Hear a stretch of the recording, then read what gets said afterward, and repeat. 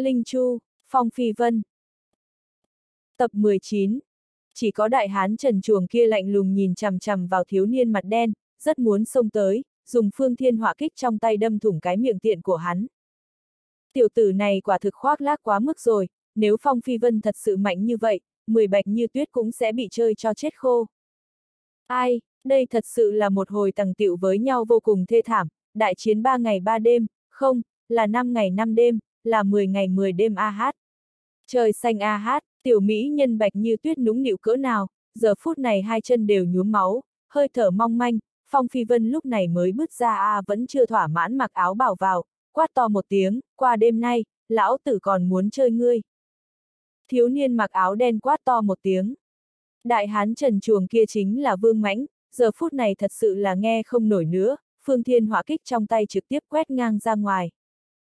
Tất ninh xuất, đừng con mẹ nó phỉ báng sư thúc ta, có tin ta quất chết ngươi không? Thiếu niên mặt đen đang thổn thức cuồng giảng kia dĩ nhiên lại là tất ninh xuất. Hắn thật giống như đã sớm biết rõ vương mãnh sẽ ra tay với hắn, thân thể tựa như một con khỉ, lóe lên, đã đến trên nóc nhà cao hơn 10 mét, cười nói. Ta mới không có phỉ báng phong phi vân, sự thật vốn là như thế, con mẹ nó chứ hâm mộ hắn còn không kịp, bạch như tuyết thật sự rất đẹp a hát.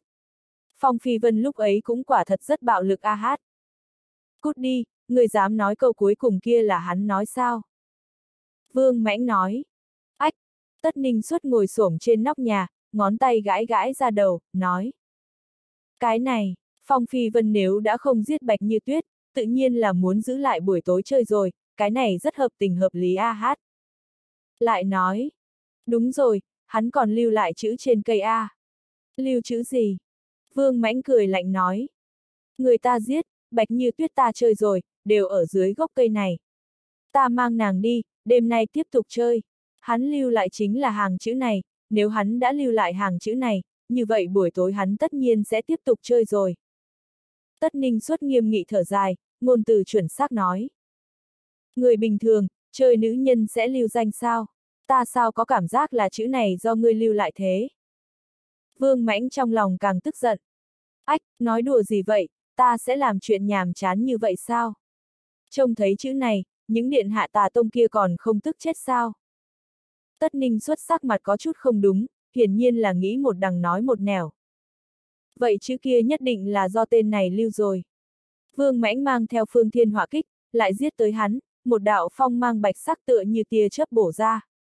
Tất ninh xuất vội vàng chạy trốn, Vương Mãnh lập tức đuổi theo phía sau. Ai cũng không rõ, Tất Ninh xuất sao biết được chuyện xảy ra lú đó, nhưng tin tức này cứ vậy bị hắn truyền ra ngoài, hơn nữa tất cả mọi người đều tin.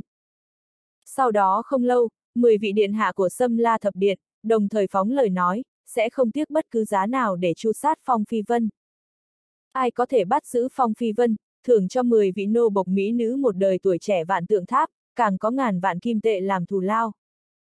Sau khi tin tức này truyền ra, mọi người càng thêm tin tưởng không nghi ngờ, xem ra Phong Phi Vân thật sự đã chơi nữ tử tà tông, bằng không thì cường giả tà tông cũng sẽ không gây ra động tĩnh lớn như vậy. Lại còn cố ý thưởng 10 vị nữ nô vạn tượng tháp, đây không phải là khiêu khích trắng trợn sao. Hiển nhiên Phong Phi Vân lần này đã đắc tội tà tông không nhẹ. Sự kiện Phong Phi Vân chẳng lẽ là một lần phản kích của học viên vạn tượng tháp sao? Xem ra trận giao phong giữa một đời tuổi trẻ của thánh địa đệ nhất thiên hạ và tà tông đệ nhất thiên hạ này sẽ càng ngày càng thảm thiết, thời đại so ai càng ác hơn ai đã đến. Người ánh mắt sâu xa đã thấy được một tia mánh khóe. Giao phong giữa một đời tuổi trẻ, thế hệ trước cũng không thể ra tay được, đây là quy củ của tu tiên giới. Nếu thế hệ trước ra tay, vậy thì đại biểu đại chiến toàn diện bắt đầu, lúc đó sẽ thảm thiết hơn giờ gấp trăm lần, nghìn lần, không cẩn thận thì một thế lực lớn đỉnh tiêm sẽ xóa tên hoàn toàn khỏi tu tiên giới ngay. Loại tình huống này, bất luận kẻ nào cũng không muốn nhìn thấy, cho nên tranh phong chính thức của tu tiên giới đều giao cho một đời tuổi trẻ, như vậy không chỉ có thể giảm bớt thương vong, mà còn có thể tôi luyện tâm tính đệ tử trẻ tuổi. Chỉ có ở trước mặt địch nhân, người trẻ tuổi mới có thể chính thức phát triển. Hùng chủ một đời tuổi trẻ vạn tượng tháp cũng không phải là không có, tu vị kỳ thật cũng không hề yếu hơn truyền nhân tà tông bao nhiêu, nhưng vì sao lại bị áp chế toàn diện. Mấu chốt ngay ở chỗ truyền nhân tà tông ra tay ngoan độc, tâm cơ đủ sâu, kinh nghiệm chiến đấu phong phú. Chỉ riêng tà sát khí trên người bọn họ thôi là có thể ép khí thế những học viên vạn tượng tháp kia xuống ba phần rồi. Giờ phút này Phong Phi Vân tự nhiên không biết sự tích phong lưu của mình đã bị tất ninh xuất thêm mắm thêm muối truyền khắp thiên hạ, cái gì cửu long bão trụ, 10 ngày 10 đêm, yêu ma chi huyết thức tỉnh, chơi tận nữ đệ tử tà tông, giết tới 10 vị điện hạ tà tông. Những lời này hôm nay đều đã truyền lưu giữa đệ tử tà tông, vạn tượng tháp, thậm chí ngay cả những tiên môn đệ tử truyền thừa cổ xưa cũng đã biết được, mỗi người đều cảm thán không thôi, có người nói hắn hào khí vượt mây, có người nói hắn hung hăng cản quấy cuồng vọng. Nhưng Phong Phi Vân giờ phút này đang làm gì? Vào đêm, không khí trở nên lạnh hơn. Tuyền phủ kín núi đồi, phản xạ một tầng bạch quang trong suốt, trên mặt tuyết có các dấu chân cực lớn, dấu chân kia giống như móng bò, nhưng so với móng bò bình thường lớn hơn không chỉ gấp 10 lần. Dấu chân cô độc, ngay cả gió tuyết cũng không thể xóa nhòa. Một đầu kỳ nghiêu cao 5 mét ở dưới ánh trăng, trên mặt tuyết, chậm rãi đi về phía trước. Đát đát, Phong Phi Vân nắm lấy khóa sắt bọc trên mũi kỳ nghiêu, một tay vắt chéo sau lưng, trên người áo trắng bồng bềnh, đạp tuyết vô ngân, thập phần tiêu sái, nhưng trong lòng lại không chút tiêu sái. Hắn hai mắt thỉnh thoảng nhấc lên, nhìn về phía sơn lĩnh dày đặc ở xa xa, thì vân quay cuồng cả nửa dãy núi, đã càng ngày càng gần. Cuối cùng vẫn quay lại rồi. Nữ ma tự xếp bằng ở đỉnh đầu kỳ nghiêu, bên người là hai cây sừng trâu thật dài, tựa như hai tòa thần phong màu đen, khiến cho nàng tăng thêm vài phần ma khí. Tinh quang đầu trời rơi xuống, chiếu vào trên người nữ ma, nếu là người tinh thông quan khí liền sẽ phát hiện những tinh quang kia đều đang chui vào mi tâm của nàng. Nàng lại có thể hấp thu lực lượng của nhật nguyệt tinh thần, toàn bộ thần tấn vương triều, đã rất khó tìm ra người thứ hai như vậy. Phong Phi Vân dừng bước, đã đến dưới bán đạp sơn. Trong núi, bóng đen lắc lắc, tràn đầy âm trầm và tử khí. Rất xa, còn truyền đến tiếng kêu của thi tà. Đây là một tòa ác sơn tràn đầy thi tà, phạm vi 300 dặm, hiểm sơn ác thủy, quả thực không dưới một tòa tuyệt sát tử địa cổ xưa, Phong Phi Vân quả thật vạn phần không muốn quay lại đây. Tinh hà đầy trời, sáng chói mà vĩnh hằng, mặc dù trời tuyết bay liên tục cũng không cách nào khiến cho ngôi sao ảm đạm. Dưới bán đạp sơn, gió lạnh phần phật, ngay cả tuyết rơi trên bầu trời cũng mang theo một cổ mùi máu tươi. Đã đến. Phong Phi Vân đứng trong tuyết, phun ra một ngụm khí màu trắng. Tinh hà run lên, tinh quang đầy trời cuốn ngược xuống quay lại thiên mạc. Trên đỉnh kỳ nghiêu, nữ ma cũng mặc nho y màu trắng, trên người ánh sáng trói lọi trong suốt, giống như một chiếc tiên đăng trong bóng tối vậy. Đôi mắt không chút cảm xúc của nàng chậm rãi mở ra, nhìn chằm chằm vào bán đạp sơn như cự thú nằm ngang, con mắt cong cong có chút nhíu lại, mang theo vài phần hàn mang. Bán đạp sơn thật sự rất cao lớn, đứng dưới chân núi, trước mắt, tất cả ánh mắt đều bị sơn thể ngăn trở, thật giống như đứng ở dưới thần bích kết nối với cửu thiên vậy, khiến người có một loại cảm giác hít thở không thông. Ta đưa người đến bán đạp sơn, cũng đến lúc nên mỗi người một ngã rồi. Phong Phi Vân buông lỏng khóa sắt trong tay, dầm ào ào, sờ lên cái mũi tràn đầy lân phiến của kỳ nghiêu, cự thú vốn hung mãnh giờ phút này lại dịu dàng ngoan ngoãn giống một chú nghé con vậy. Phong Phi Vân ôm bạch như tuyết cột trên lưng kỳ nghiêu xuống, nàng cũng đã sớm tỉnh, nhưng toàn thân đều bị trói lại, không cách nào nhúc nhích, dưới làn da màu trắng, đôi mắt dễ thương như chân châu đen kia lộ ra đặc biệt chói mắt. Chừng ta làm gì vậy? Rất tức giận sao? Phong Phi Vân trêu tức cười nói. Ngươi vì sao không giết ta? Bạch Như Tuyết vẫn chừng mắt nhìn Phong Phi Vân. Ta giết ngươi làm gì? Ta hiện giờ thả ngươi về nhé. Phong Phi Vân cười cười. Bạch Như Tuyết trao mày lại, có chút khó hiểu, nhưng rất nhanh nàng đã hiểu rõ ý đồ của Phong Phi Vân, mình chẳng qua chỉ là công cụ để hắn phản kích tà tông thôi, một khắc khi hắn cột mình lên cây thì kỳ thật mình đã không còn giá trị gì nữa. Thả mình về hay không đã không quan trọng nữa, quan trọng là, mục đích của hắn đã đạt được. Phong Phi Vân chưa bao giờ cho rằng mình là người tốt, nhưng lại không muốn trơ mắt ếch ra nhìn nữ nhân vừa bị mình chơi chết cóng dưới cây ngô đồng, cho nên mới mang nàng đi. Giờ phút này, Bạch Như Tuyết đã khôi phục vài phần tu vị, thả nàng rời đi thì đã làm sao? Bạch Như Tuyết khôi phục tự do, liền vội nhanh chóng lướt ra hơn bảy trượng, kéo xa khoảng cách với Phong Phi Vân, lạnh lùng cười. Phong Phi Vân, ta cam đoan với ngươi, đây là quyết định sai lầm nhất đời ngươi. Ngươi hoàn toàn không hiểu tâm lý trả thù của một nữ nhân sẽ cường đại đến mức nào đâu. Nàng lại lui về phía sau mấy bước, thẳng đến khi nàng cảm thấy Phong Phi Vân đã không cách nào uy hiếp được nàng nữa thì mới dừng bước. A hát, ngân ngân, cho dù ngươi lại luyện 10 năm, 100 năm, ngươi cũng không phải đối thủ của ta. Phong Phi Vân cười nói. Ngươi sai rồi, có đôi khi trả thù người, chưa hẳn cần nhờ lực lượng. Tóc trắng trên đầu bạch như tuyết như ngàn vạn thác nước trắng, bay múa từ từ trong không khí, trong đôi mắt đẹp dịu dàng mang theo vẻ mỉa mai và xinh đẹp. Phong Phi Vân nói, chẳng lẽ ngươi còn những biện pháp khác sao? Bạch Như Tuyết nói, ta có thể tra tấn tự mình, người nói đây có phải là một phương thức trả thù không? Ha ha, ta vốn nghĩ ngươi là một nữ nhân thông minh, lại không nghĩ ngươi cũng ngu xuẩn như vậy, cho dù ngươi chém mất hai tay hai chân của mình, ta cũng sẽ không có nửa phần đồng tình đâu. Phong Phi Vân lắc đầu thở dài. Vậy nếu ta ngủ với nam nhân khác thì sao? Bạch như tuyết huyền mị cười cười, cười đến phong tình vạn trùng. Quần áo trên người nàng nhẹ nhàng chảy xuống, lộ ra ngọc thể hoàn mỹ không tì vết, đẫy đà, hết sức nhỏ, thon dài, quả thực giống như tinh linh trong tuyết, vưu vật trời sinh. Chỉ cần là nam nhân có mắt, sau khi chứng kiến thân thể của nàng khẳng định sẽ muốn ngủ với nàng ngay. Phong Phi Vân nhướng mày, chằm chằm vào nàng.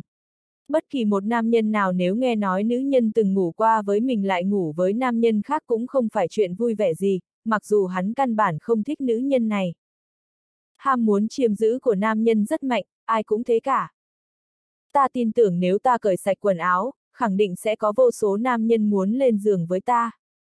Ánh mắt bạch như tuyết không giống nói đùa chút nào, tràn đầy vẻ căm hận đối với Phong Phi Vân, hắn cười nói. Những nam nhân này, nhất định sẽ có bằng hữu của ngươi, có cửu nhân của ngươi, có ngươi người ghét, thậm chí là thân nhân của ngươi, ta đều nguyện ý ngủ với bọn hắn, cùng bọn hắn trên giường, khiến bọn hắn nếm thử ngọc thể câu hồn, nghe ta âm thanh rên rỉ của ta.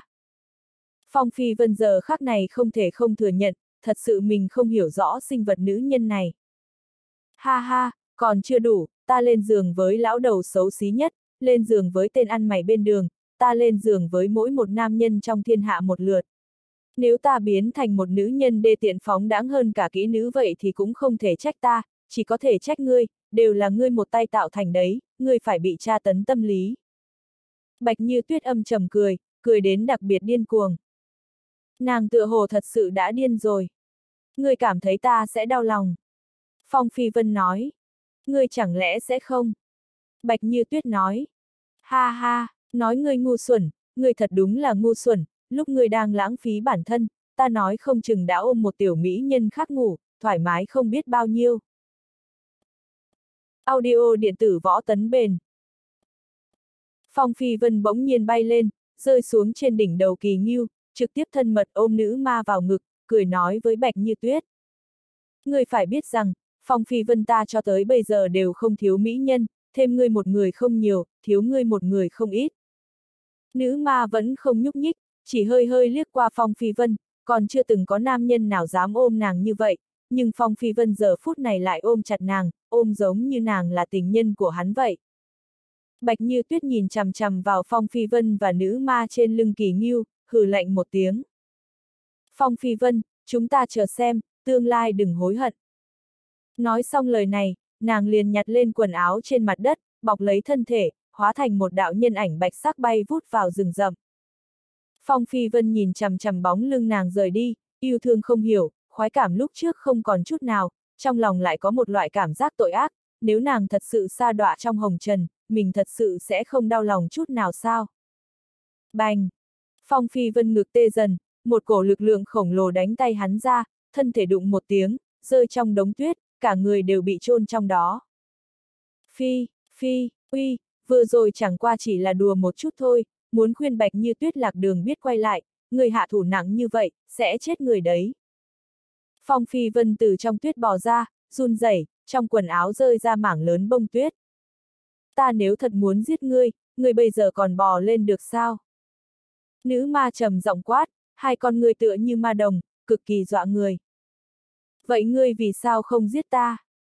Phong Phi Vân vừa rồi cũng không kìm lòng được, đích thật đã bị lời bạch như tuyết nói làm xúc động, bằng không hắn thật sự không dám đụng vào một ngón tay của nữ ma, chứ đừng nói đến ôm nàng vào ngực.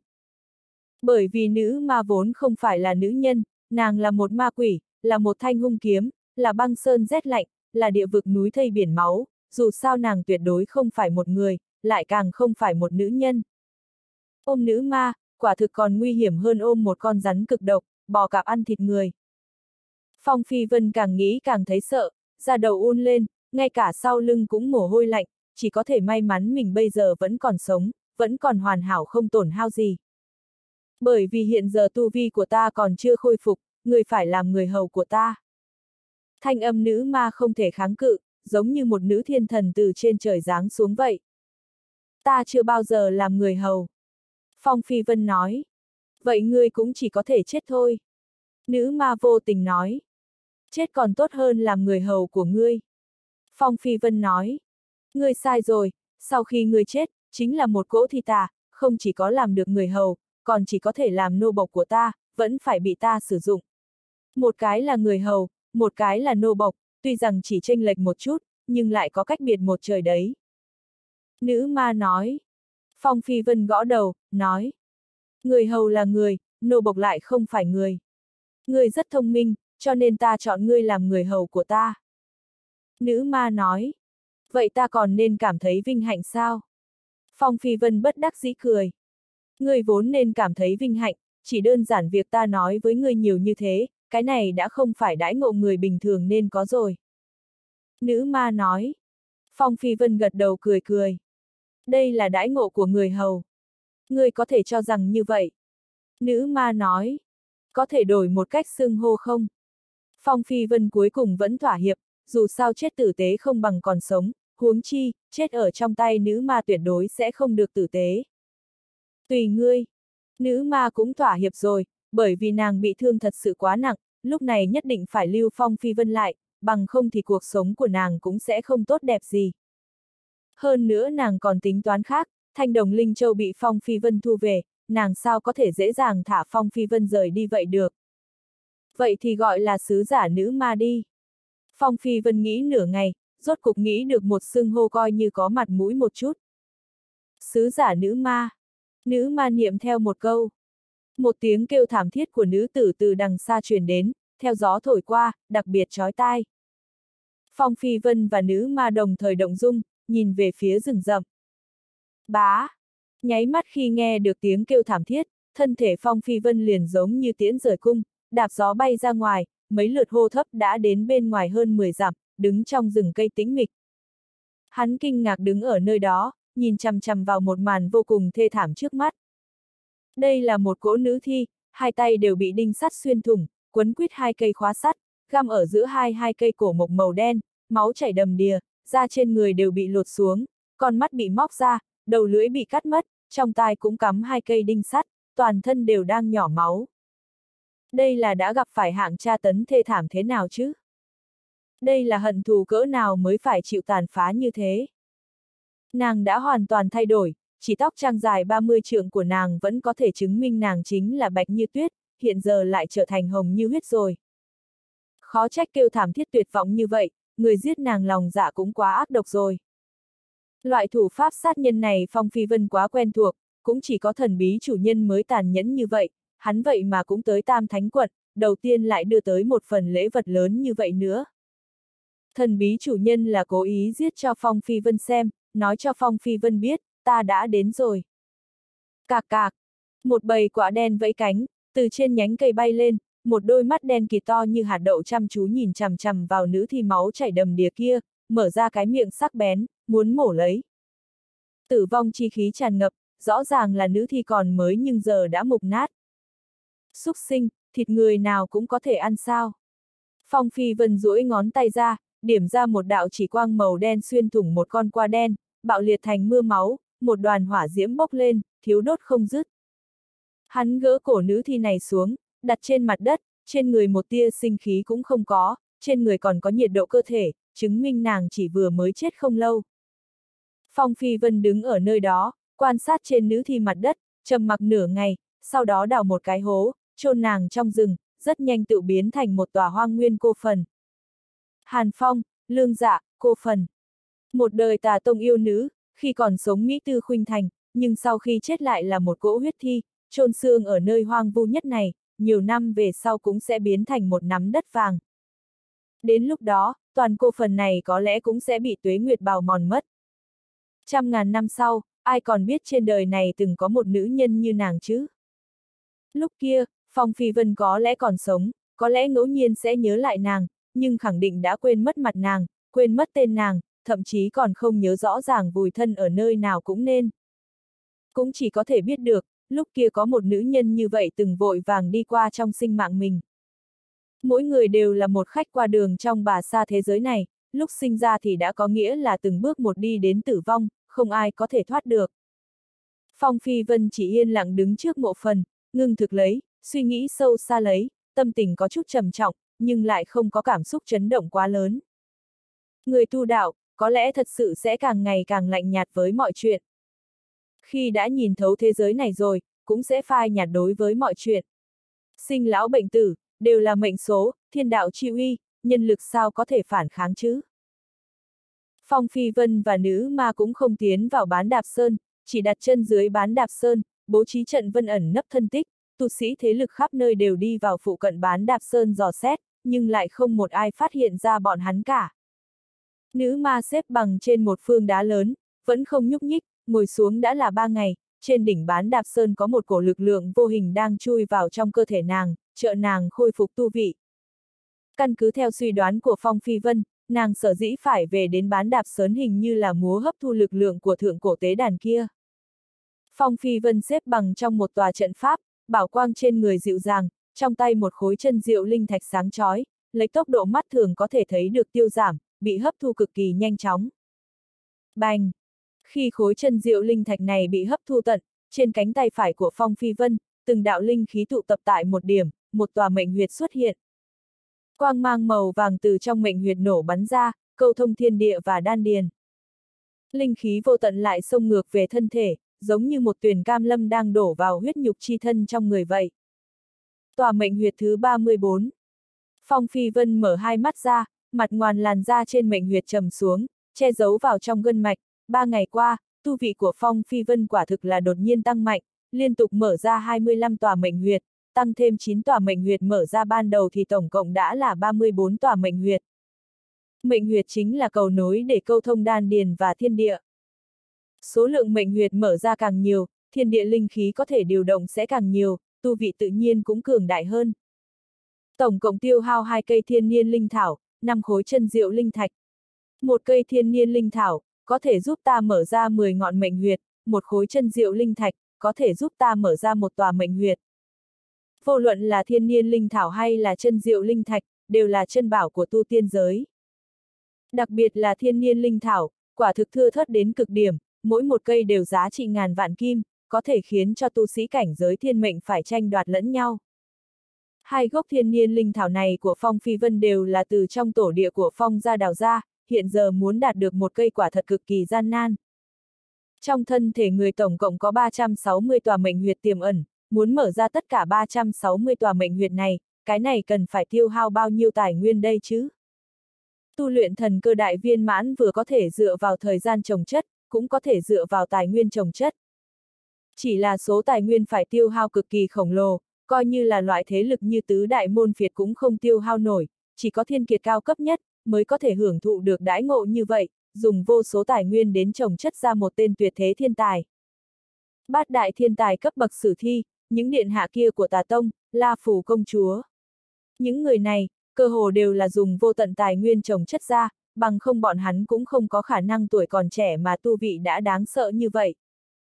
Ví dụ như, người bình thường ở cảnh giới thần cơ đại viên mãn phải tu luyện 20 năm, mới có thể luyện ra toàn bộ 360 tòa mệnh huyệt, đây là nhân kiệt thiên tư tung hoành mới có thể làm được. Nhưng đối với La Phù công chúa bọn hắn mà nói, hoàn toàn có thể dựa vào linh vật tài nguyên khổng lồ, trong vòng 2 tháng, tu luyện ra 360 tòa mệnh huyệt. Đây là tranh lệch giữa cả hai. Cho nên những thiên tài địa vị càng cao thì tranh đấu càng lợi hại, tranh giành chính là tài nguyên có hạn trong tiên môn, như vậy mới có thể tu luyện nhanh hơn, tranh lệch với người cùng thế hệ càng lớn hơn. Mở ra 34 tòa mệnh huyệt, khiến tu vị của Phong Phi Vân lại tăng lên một mảng lớn. Bỗng dưng, thiên mạc phương Bắc truyền đến một hồi tiếng chống trận nước cuộn trào, đông, đông, đông, thanh âm này mang theo một cổ ma uy khiếp người, sau khi nghe thấy, khiến tâm của người cũng theo đó chấn động mãnh liệt. Tiếng chống càng ngày càng gần, càng ngày càng to, chấn khiến người như muốn ngất đi. Trong không khí cuồng phong phần phật, tiếng trống như tiếng sấm. Phong Phi Vân bỗng nhiên đứng dậy, trong đôi mắt sinh ra hỏa diễm, nhìn ra xa phương Bắc, chỉ thấy một mặt cự cổ đường kính đạt đến 30 trượng đang lơ lửng dưới tầng mây. Cự cổ, có sắc ngoài thanh đồng, phủ lên một tầng da tràn đầy lân phiến. Một cái thần chùy mang theo lôi điện đánh lên trên cổ bì, phát ra thanh âm chấn thiên động địa. Phung chùy chính là một cổ cương nô cao 4 mét, cơ bắp như hàn thiết, làn da bốc lên kim mang, một búa của hắn sợ là có trên trăm ngàn cân lực, có thể san bằng cả một ngọn núi nhỏ. Tế đàn cổ xưa vậy mà chuyển bắt đầu chuyển động, chẳng lẽ nói thậm chí có người đang hấp thu lực lượng bí mật kia sao? Một bầy tông trưởng lão mặt áo đen từ đằng sau cự cổ kia bay ra, mỗi người đều dẫm lên mây đen, trên làn da lưu động lấy huyết vân, nhìn lên đỉnh bán đạp sơn ở phương xa. Đây là tà tông tu sĩ xâm la điện đệ tứ điện, điện hạ của đệ tứ điện tiết trường thiếu cũng bỗng nhiên khẽ động, ăn mặc hắc y, cùng những tà tông trưởng lão kia sóng vai mà đứng. Đỉnh bán đạp sơn, tế đàn cổ xưa có lực lượng thần bí khó lường, đã thật lâu không ai có thể lĩnh ngộ được thần lực của tế đàn, khiến nơi đây hoang phế lâu ngày, nhưng lại không ai có thể khinh thị nó được. Không lâu trước, nơi này đã xảy ra đại chiến kinh thiên động địa, khiến rất nhiều nhân vật thế hệ trước của nhiều thế lực lớn bị kinh động, nhao nhao chạy đến, trải qua hai tháng dò xét, phát hiện tế đàn trên đỉnh núi, ngày gần đây vậy mà chuyển bắt đầu chuyển động. Những tu sĩ thế hệ trước này cũng nhìn không được nữa, định tiến lên tìm tòi. ầm ầm, một tòa thần điện màu đen khổng lồ từ trong tầng mây chậm rãi trầm xuống, hiển lộ ra nửa cái cung điện, bên kia giấu ở trong tầng mây. Trong cung điện khổng lồ truyền đến một cổ tà lực kinh khủng, khiến không khí cũng trở nên không cách nào lưu động, toàn bộ thế giới, cũng giống như biến thành ao tù nước động vậy. Trưởng lão và điện hạ của Sâm La đệ tứ điện đều có chút khom mình hành lễ, cùi đầu thật sâu với thần điện trên thiên mạc. Đó là một vị phó điện chủ của Sâm La đệ tứ điện, chính là một vị siêu cấp hung nhân. Tất ninh suốt ngồi trồm hổm trên mặt đất, rất xa nhìn qua tòa thần điện kia. Làm sao ngươi biết? Vương Mãnh cũng ngồi xổm xuống, rất không tin lời hắn nói. Thật sự là cô lậu quả văn, chẳng muốn giải thích cho ngươi. Tất ninh suốt lắc đầu, đột nhiên ánh mắt co rụt lại, nhìn chăm chú vào một phương hướng khác, mí mắt mãnh liệt nhảy dựng, hoảng sợ nói.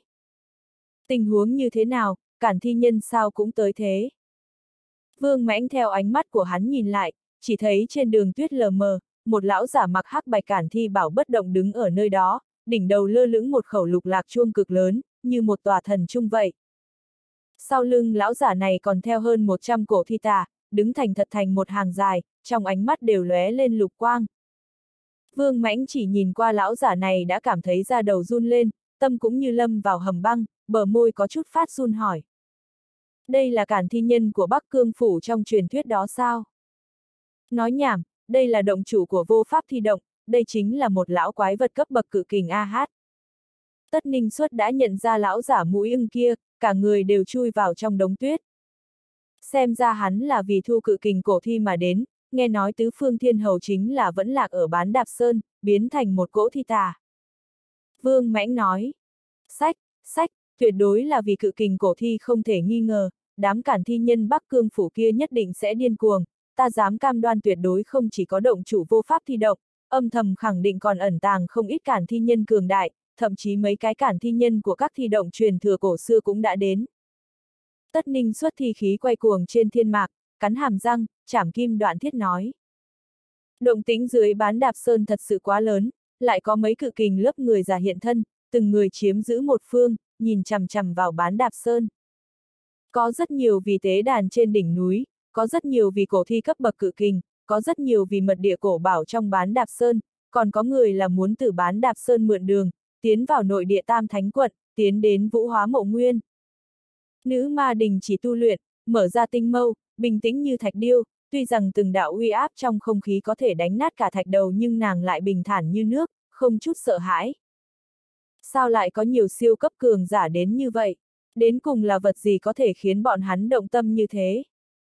Phong Phi Vân vận chuyển Phượng Hoàng Thiên Nhãn quan sát trong hư không, thật sự là càng ngày càng kinh hãi, mới chỉ qua nửa canh giờ, đã có năm thế lực lớn đến, mỗi cái đều có nhân vật cấp bậc cự kình tọa chấn, tu sĩ thế hệ trước càng xuất hiện một nhóm lớn. Hừ, cổ chi truyền ngôn, tòa tế đàn kia trên bán đạp sơn chính là từ phía trên thiên mạc rơi xuống, ai có thể khai quật ra bí ẩn bên trong liền có thể vũ hóa thành thánh. Nữ ma lạnh giọng nói. Phong Phi Vân ánh mắt ngưng tụ, có chút liếc qua nàng nói. Người có phải đã tra xét ra bí ẩn trong tế đàn kia không? Nữ ma có thể hấp thu lực lượng tế đàn, nàng rất có thể đã dò xét tra ra nơi phát ra lực lượng của tế đàn. Vũ hóa thành thánh hấp dẫn thật sự quá lớn, coi như là cự kình cũng phải động tâm. Hừ. Nữ ma hừ lạnh một tiếng, nhưng lại một chữ cũng không nói, hiển nhiên cảm thấy Phong Phi Vân căn bản không xưng hỏi nàng vấn đề. Dưới bán đạp sơn, cường giả tụ tập, thế lực khắp nơi đều có nhân vật lớp người giả giá lâm. Thỉnh thoảng liền có một đạo tinh mang từ phía trên bay tới, lại có cường giả chạy đến, chưa đến gần đã rất nhanh che giấu vào trong tầng mây. Trong bán đạp sơn thì vụ lượn lờ, vô số thi tà kia cũng cũng cảm thấy bất an, phát ra từng tiếng kêu khủng bố, như lang sói, như ác quỷ, như tu la. A-di-đà Phật, tranh đấu thế gian không ngớt không dứt, sau đó không lâu, nơi này sẽ máu tươi giải đầy, cô hồn răng khắp núi. Rượu thịt hòa thượng ôm một vạc rượu lớn, đặt mông ngồi dưới đất, ngửa đầu liền nốc một ngụm, tử thủy cay độc theo khóe miệng của hắn chảy xuống, theo cổ, ướt đẫm mảng lớn Phật y. Nạp Lan Tuyết Tiên đứng ở bên, tóc xanh rủ xuống, khóe miệng cao lại, giờ phút này nàng rất không vui, hung hăng lay động vô địch thiền trượng một chút, phát ra tiếng rầm rầm rầm, nhưng rượu thịt hòa thượng lại không để ý tới nàng, thật giống như căn bản không biết nàng đang tức giận vậy. Nạp Lan Tuyết Tiên càng thêm phát hỏa, trực tiếp cầm vô địch thiền trượng đập tới đỉnh đầu rượu thịt hòa thượng. A-di-đà Phật, A-di-đà Phật, nhà đầu, người không thể yên tĩnh một chút sao? Rượu thịt hòa thượng thật giống như cái ót mọc ra một con mắt vậy, trở tay liền chụp lấy vô địch thiền trượng, sau đó đặt ở bên cạnh. Còn yên tĩnh, sao mà yên tĩnh được? Ngươi đến cùng có phải tổ gia gia của ta không? Nạp Lan Tuyết Tiên đi qua, liền đoạt tới bình rượu trong tay rượu thịt hòa thượng, sau đó ba một tiếng, ngã trên mặt đất, nện đến nát bấy. Mùi rượu tràn ngập trong không khí, còn nương theo tiếng thở dài của rượu thịt hòa thượng, một vò rượu cứ vậy bị đập nát. Tự nhiên là tổ ra ra. Rượu thịt hòa thượng vẫn đau lòng rượu trên mặt đất, bưng lên một mảnh vạc rượu bị bể trên đất, bên trong còn có một ngụm rượu, bị hắn coi như chân bảo cẩn thận từng ly từng tí rót vào tê miệng. Vậy ngươi có phải sư phụ ta không? Nạp Lan Tuyết Tiên nhíu chiếc mũi đẹp lại tức giận nói. Tự nhiên cũng là sư phụ. Rượu thịt hòa thượng cười cười, cười đến tựa như một vị Phật ra vậy. Ta thấy người vốn cũng không phải tổ ra ra ta, cũng không phải sư phụ ta mới đúng. Nạp Lan Tuyết Tiên nói. Rượu thịt hòa thượng nói. Nhà đầu, người nói lời này khiến vi sư rất yêu thương A Hát. Vi sư có chỗ nào đắc tội ngươi chứ? Vậy ta hỏi ngươi, ta bị người khi dễ rồi, ngươi vì sao không giúp ta? Nạp Lan Tuyết Tiên nói. Bị ai khi dễ thế? Rượu thịt hòa thượng giả bộ ngu nói. Nam Cung Hồng Nhan. Nạp Lan Tuyết Tiên nói. Rượu thịt hòa thượng lắc đầu, hít một tiếng, sau đó lại ngồi xuống, nói. Phật từng nói qua, ghen ghét che mắt nhân tâm, nữ nhân tội gì khó xử nữ nhân. Ta mới không ghen ghét, ta cho người biết, nàng chính là một nữ nhân xấu, tiểu tử Phong Phi Vân kia quá ngu ngốc, nhất định là bị nàng lừa gạt rồi, tương lai sẽ gặp nhiều thua thiệt, chúng ta nhất định phải giúp hắn thoát ly khổ hải. Nạp Lan Tuyết Tiên ngồi xổm người xuống, đong đưa cánh tay rượu thịt hòa thượng nói. A-di-đà Phật, bần tăng sao lại cảm thấy, đây không phải đang giúp người thoát ly khổ hải, mà là tham dự vào trong chiến đấu của hai nữ nhân thế. Rượu thịt hòa thượng thật sự đau đầu, xoa xoa cái chán, lại đấm đấm ngực, cuối cùng vẫn không chịu nổi nạp lan tuyết tiên, bất đắc dĩ thỏa hiệp. Xa xa, trong một tòa rừng rậm, ngừng lại một cổ xe hoa lệ, chế tạo từ vàng ròng, linh thạch khảm nạm, kéo xe cũng là ba con dị cầm lớn tới 7, 8 mét. Chỉ riêng rèm cổ xe kia thô cũng là do bạch ngân sa man dệt thành, giá trị vạn kim, chủ nhân trong xe này lại tôn quý bực nào chứ? Trong cổ xe, một cánh tay ôn nhu trắng nõn thả rèm xuống, thu hồi con nhãn quang, thanh âm xinh đẹp thiên tốc, nói. Nhìn thấy đại hòa thượng và thiếu nữ mặc Phật y kia chưa? Nam Cung Hồng Nhan cười nhìn chằm chằm vào một nữ tử khác ngồi trong xe. Nhìn thấy. Nàng cung kính nói. Nàng an vị ở phía dưới Nam Cung Hồng Nhan, có chút kính sợ nhìn chằm chằm vào Nam Cung Hồng Nhan, tu vị nữ nhân này thật sự quá đáng sợ, khiến nàng không sinh ra nổi lòng phản kháng. Đôi mắt đẹp của Nam Cung Hồng Nhan như có thể thấy rõ tất cả mọi vật trong thế gian, nói. Biết rõ người bây giờ vì sao vẫn chưa chết không? Ta càng muốn biết ngươi là ai. Nàng chằm chằm vào Nam Cung Hồng Nhan, bị mỹ mạo của Nam Cung Hồng Nhan thuyết phục, mặc dù mặt của đối phương bị che lại, cũng không thể che giấu được khí chất nghiêng thế kia. Nam Cung Hồng Nhan. Nam Cung Hồng Nhan thản nhiên nói. Ngươi chính là Mỹ nhân đệ nhất thiên hạ. Cô gái ngồi ở đối diện kia theo bản năng đứng lên, muốn lao ra cổ xe, mình vậy mà rơi vào tay nàng. Quỳ xuống cho ta. Nam Cung Hồng Nhan một tay duỗi ra, đầy tay đều là hỏa diễm, trực tiếp chân áp nữ tử muốn trốn kia, quỳ gối trước mặt nàng, không cách nào nhúc nhích. Thế nhân đều cho rằng Nam Cung Hồng Nhan là một nữ tử yếu đuối, nhưng không ngờ tu vị ngươi lại mạnh như thế, đã rơi vào trong tay của ngươi, xem ra ta không sống được rồi. Khuôn mặt vốn tựa như ngọc kia của nàng trở nên càng thêm tái nhợt. Nam Cung Hồng Nhan ha ha cười cười, duỗi ra một ngón tay, nâng cầm nàng lên, nói. Nếu ta muốn giết ngươi, vậy thì nữ nhân bị Phong Phi Vân mai táng kia đã là chính ngươi rồi. Nữ nhân Phong Phi Vân mai táng kia tự nhiên không phải Bạch Như Tuyết, Bạch Như Tuyết chính thức giờ phút này đang quỳ gối trước mặt Nam Cung Hồng Nhan, chỉ đầu tóc trắng kia của nàng đều đã bị cạo xuống, tựa như một ni cô tuyệt sắc vậy. Tóc trắng dài 30 trượng của Bạch Như Tuyết bị cấy ghép vào trên người nữ thi kia, bằng không thì cũng không thể gạt được Phong Phi Vân. Nam Cung Hồng Nhan so với ai khác càng hiểu rõ Phong Phi Vân hơn, biết rõ Phong Phi Vân tuyệt đối sẽ không dùng thần thức đi dò xét thân thể một nữ nhân, càng sẽ không dùng thần thức đi dò xét thi thể một nữ nhân. Không còn đầu tóc trắng kia, Bạch Như Tuyết không chỉ không biến dạng, ngược lại càng thêm đẹp, mang theo một loại hàm xúc mê người nói không nên lời, ngũ quan tinh điêu tế chắc trở nên càng thêm rõ ràng, lông mi thon dài, con mắt sáng ngời, quỳnh tị cao thẳng, bờ môi hồng nhuận phơn phớt, chính yếu nhất chính là, nàng còn có một cái đầu trọc. Nhưng lại không giống một nữ ni, bởi vì không có một nữ ni nào tràn đầy nữ nhân vị như nàng.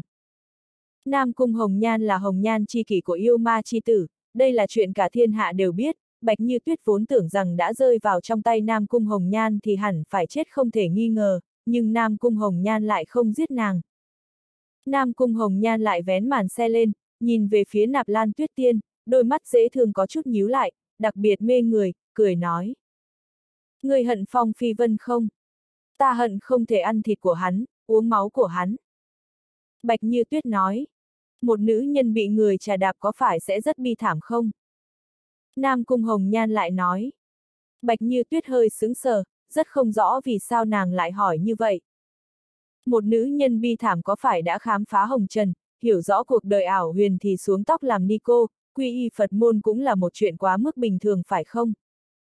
Nam Cung Hồng Nhan cười nói.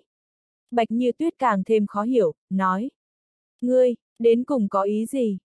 Bạch Như Tuyết tự nhận là coi như thông minh, nhưng lại hoàn toàn đoán không ra Nam Cung Hồng Nhan. Nam Cung Hồng Nhan nhìn chằm chằm nàng, cười nói. Ta muốn người bái đại hòa thượng kia làm sư, trở thành một nữ ni Phật môn. Hòa thượng sao có thể thu nữ ni? Bạch Như Tuyết cũng nhìn thấy rượu thịt hòa thượng, mặt mũi tràn đầy dữ tợn, một thân ác khí, hiển nhiên không phải một tên thiện hòa thượng rồi. Hòa thượng này thật không đơn giản, trong thiên hạ đoán chừng cũng không tìm ra hòa thượng thứ hai như vậy, coi như là thiên tài cấp bậc sử thi quỳ ở trước mặt của hắn, hắn cũng chưa hẳn sẽ liếc mắt nhìn. Nhưng nếu người đi khóc cầu hắn, hắn tất nhiên sẽ thu ngươi làm đồ đệ. Nam Cung Hồng Nhan lộ ra dáng cười bí ẩn.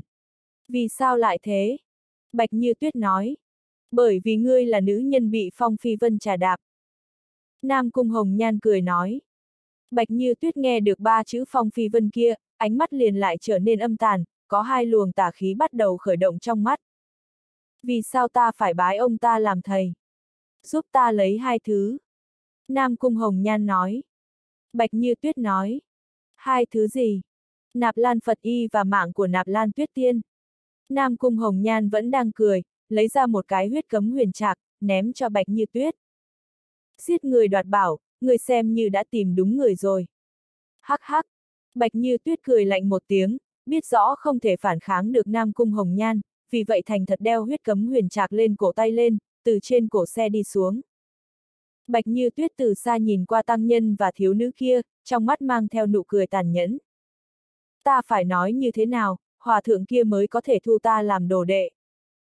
Bạch như tuyết hỏi một câu cuối cùng. Cứ nói rõ ràng, nói những gì ngươi gặp phải cho bọn hắn nghe, nói lại hết chuyện ác của Phong Phi Vân, tin tưởng với ngươi thì chút bổn sự ấy vẫn phải có. Trong xe truyền đến thanh âm của Nam Cung Hồng Nhan. Bá!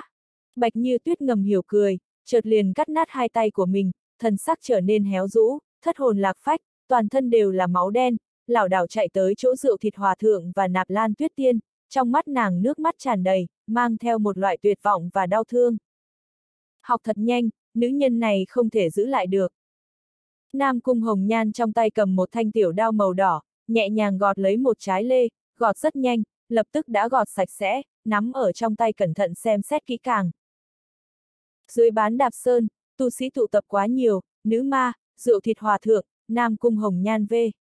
V, bọn hắn cũng chỉ ẩn núp trong bóng tối, có người là đến xem náo nhiệt, có người là có mục đích riêng, có người là muốn vào thời khắc cuối cùng ra tay, không muốn bạo lộ quá sớm, bị mang theo tiếng xấu. Nhưng có người lại đời không kịp. Trước liên thủ thanh lý thi tà trong bán đạp sơn, sau đó lại lên, tìm tòi thượng cổ tế đàn. Trong một tòa thần điện màu đen lơ lửng trên tầng mây truyền đến một thanh âm nguy nga, truyền khắp mấy trăm dặm, trầm hồn mà trầm trọng. Loại chuyện thanh lý thi tà này vẫn nên do người Bắc Cương phủ chúng ta đến làm A. Động chủ vô pháp thi động vẫn nhớ mãi không quên thi thể tứ phương thiên hầu, hôm nay trên đỉnh bán đạp sơn đã không còn khí thức nữ ma, hiển nhiên nàng đã đi ra. Hắn định lần nữa ra tay, thu phục tứ phương thiên hầu làm thi nô. Động chủ vô pháp thi động đã lần nữa tế luyện cản thi linh và chấn thi thần phù, chữa trị vết rách trên đó, một tay cầm linh, một tay cầm phù. Hắn mặc hắc bạch cản thi bảo, lơ lửng giữa không trung, thân thể như bị gió thổi động, trực tiếp thổi vào trong bán đạp sơn tràn đầy thi khí. Cản thi nhân đại chiến với thi tà lần thứ ba thi biến. Hô! Trên sườn núi bán đạp sơn, tứ phương thiên hầu thân hình nghiền nát, là một cỗ tàn thi, nhưng lại có được uy năng lay trời, mỗi một khối huyết nhục đều có thể đè chết một vị tu sĩ thần cơ đại viên mãn. Hắn mở ra thi khẩu, nhổ ra một mảnh điện quang. Bành, bành. Có mấy tu sĩ trẻ tuổi cách bán đạp sơn khá gần bị điện mang rơi xuống bổ chúng, thân thể biến thành cháy đen, sau đó bành một tiếng, văng tung tóe thành một mảnh bụi đất màu đen. Đây là công kích của thi tà lần thứ ba thi biến, căn bản không phải người bình thường có thể ngăn cản được, mặc dù chỉ bị một tia lực lượng lướt qua thôi cũng phải tan thành mây khói. Leng keng, cản linh linh rung lên trong bán đạp sơn, mang theo một cổ lực lượng chấn nhiếp linh hồn người, khiến tu sĩ bên ngoài đều cảm thấy đầu tráng váng não trướng, như muốn nứt ra. Một ít tu sĩ tu vị thấp, càng trực tiếp ngất liệm, hai lỗ tai tràn máu. Đây là chiến đấu giữa cấp bậc cự kình, trong 30 dặm, có thể đứng thẳng người dưới cự kình chi uy hạ cũng không phải người bình thường. Chấn thi thần phù huyền phù trên cửu thiên, giống như một khối thần bi sáng chói chói mắt chậm rãi đè xuống trong núi, khiến vô số thi tà đều bị chấn nát bấy. Động chủ vô pháp thi động vậy mà cường đại đến trình độ như vậy, mấy thi động truyền thừa cổ xưa ở Bắc Cương Phủ không biết đã cường đại đến tình trạng nào rồi nữa. Tu sĩ thế hệ trước nhìn qua một màn trước mặt, trong lòng kinh hãi nói không nên lời, nhớ tới tuế nguyệt xa xôi trước kia, cản thi nhân thiếu chút nữa đã trở thành chủ nhân tu tiên giới rồi. Đó là một thời đại chỉ tồn tại trong sử sách, nhưng lại không ai có thể quên được. Tứ phương thiên hầu sau khi chết, tu vị mạnh hơn, nhưng vẫn không phải là đối thủ của cản thi lão giả kia. Tứ phương thiên hầu phát ra tiếng thi hống kinh thiên động địa, vô tận lôi điện nổ vang, nhưng lại không oanh phá được chấn thi thần phù. Mấy thế lực khổng lồ cũng đã bắt đầu chuẩn bị, dục dịch, chỉ chờ tứ phương thiên hầu bị bắt liền giết lên bán đạp sơn. Oanh! Trên thiên mạc tuyết như đại tịch. Một đạo bạch sắc quang mang từ trong bán đạp sơn bay ra, phá tan thi vân màu đen, trực tiếp đánh lên chấn thi thần phù trên thiên mạc. Chấn thi thần phù chính là một kiện linh khí cổ bảo, nhưng lại bị đạo bạch quang này đánh bay, như một đạo lưu tinh không bị khống chế bay ngược xuống khỏi thiên mạc, đè sập cả một ngọn núi nhỏ. Chấn thi thần phù lại bị đánh bay.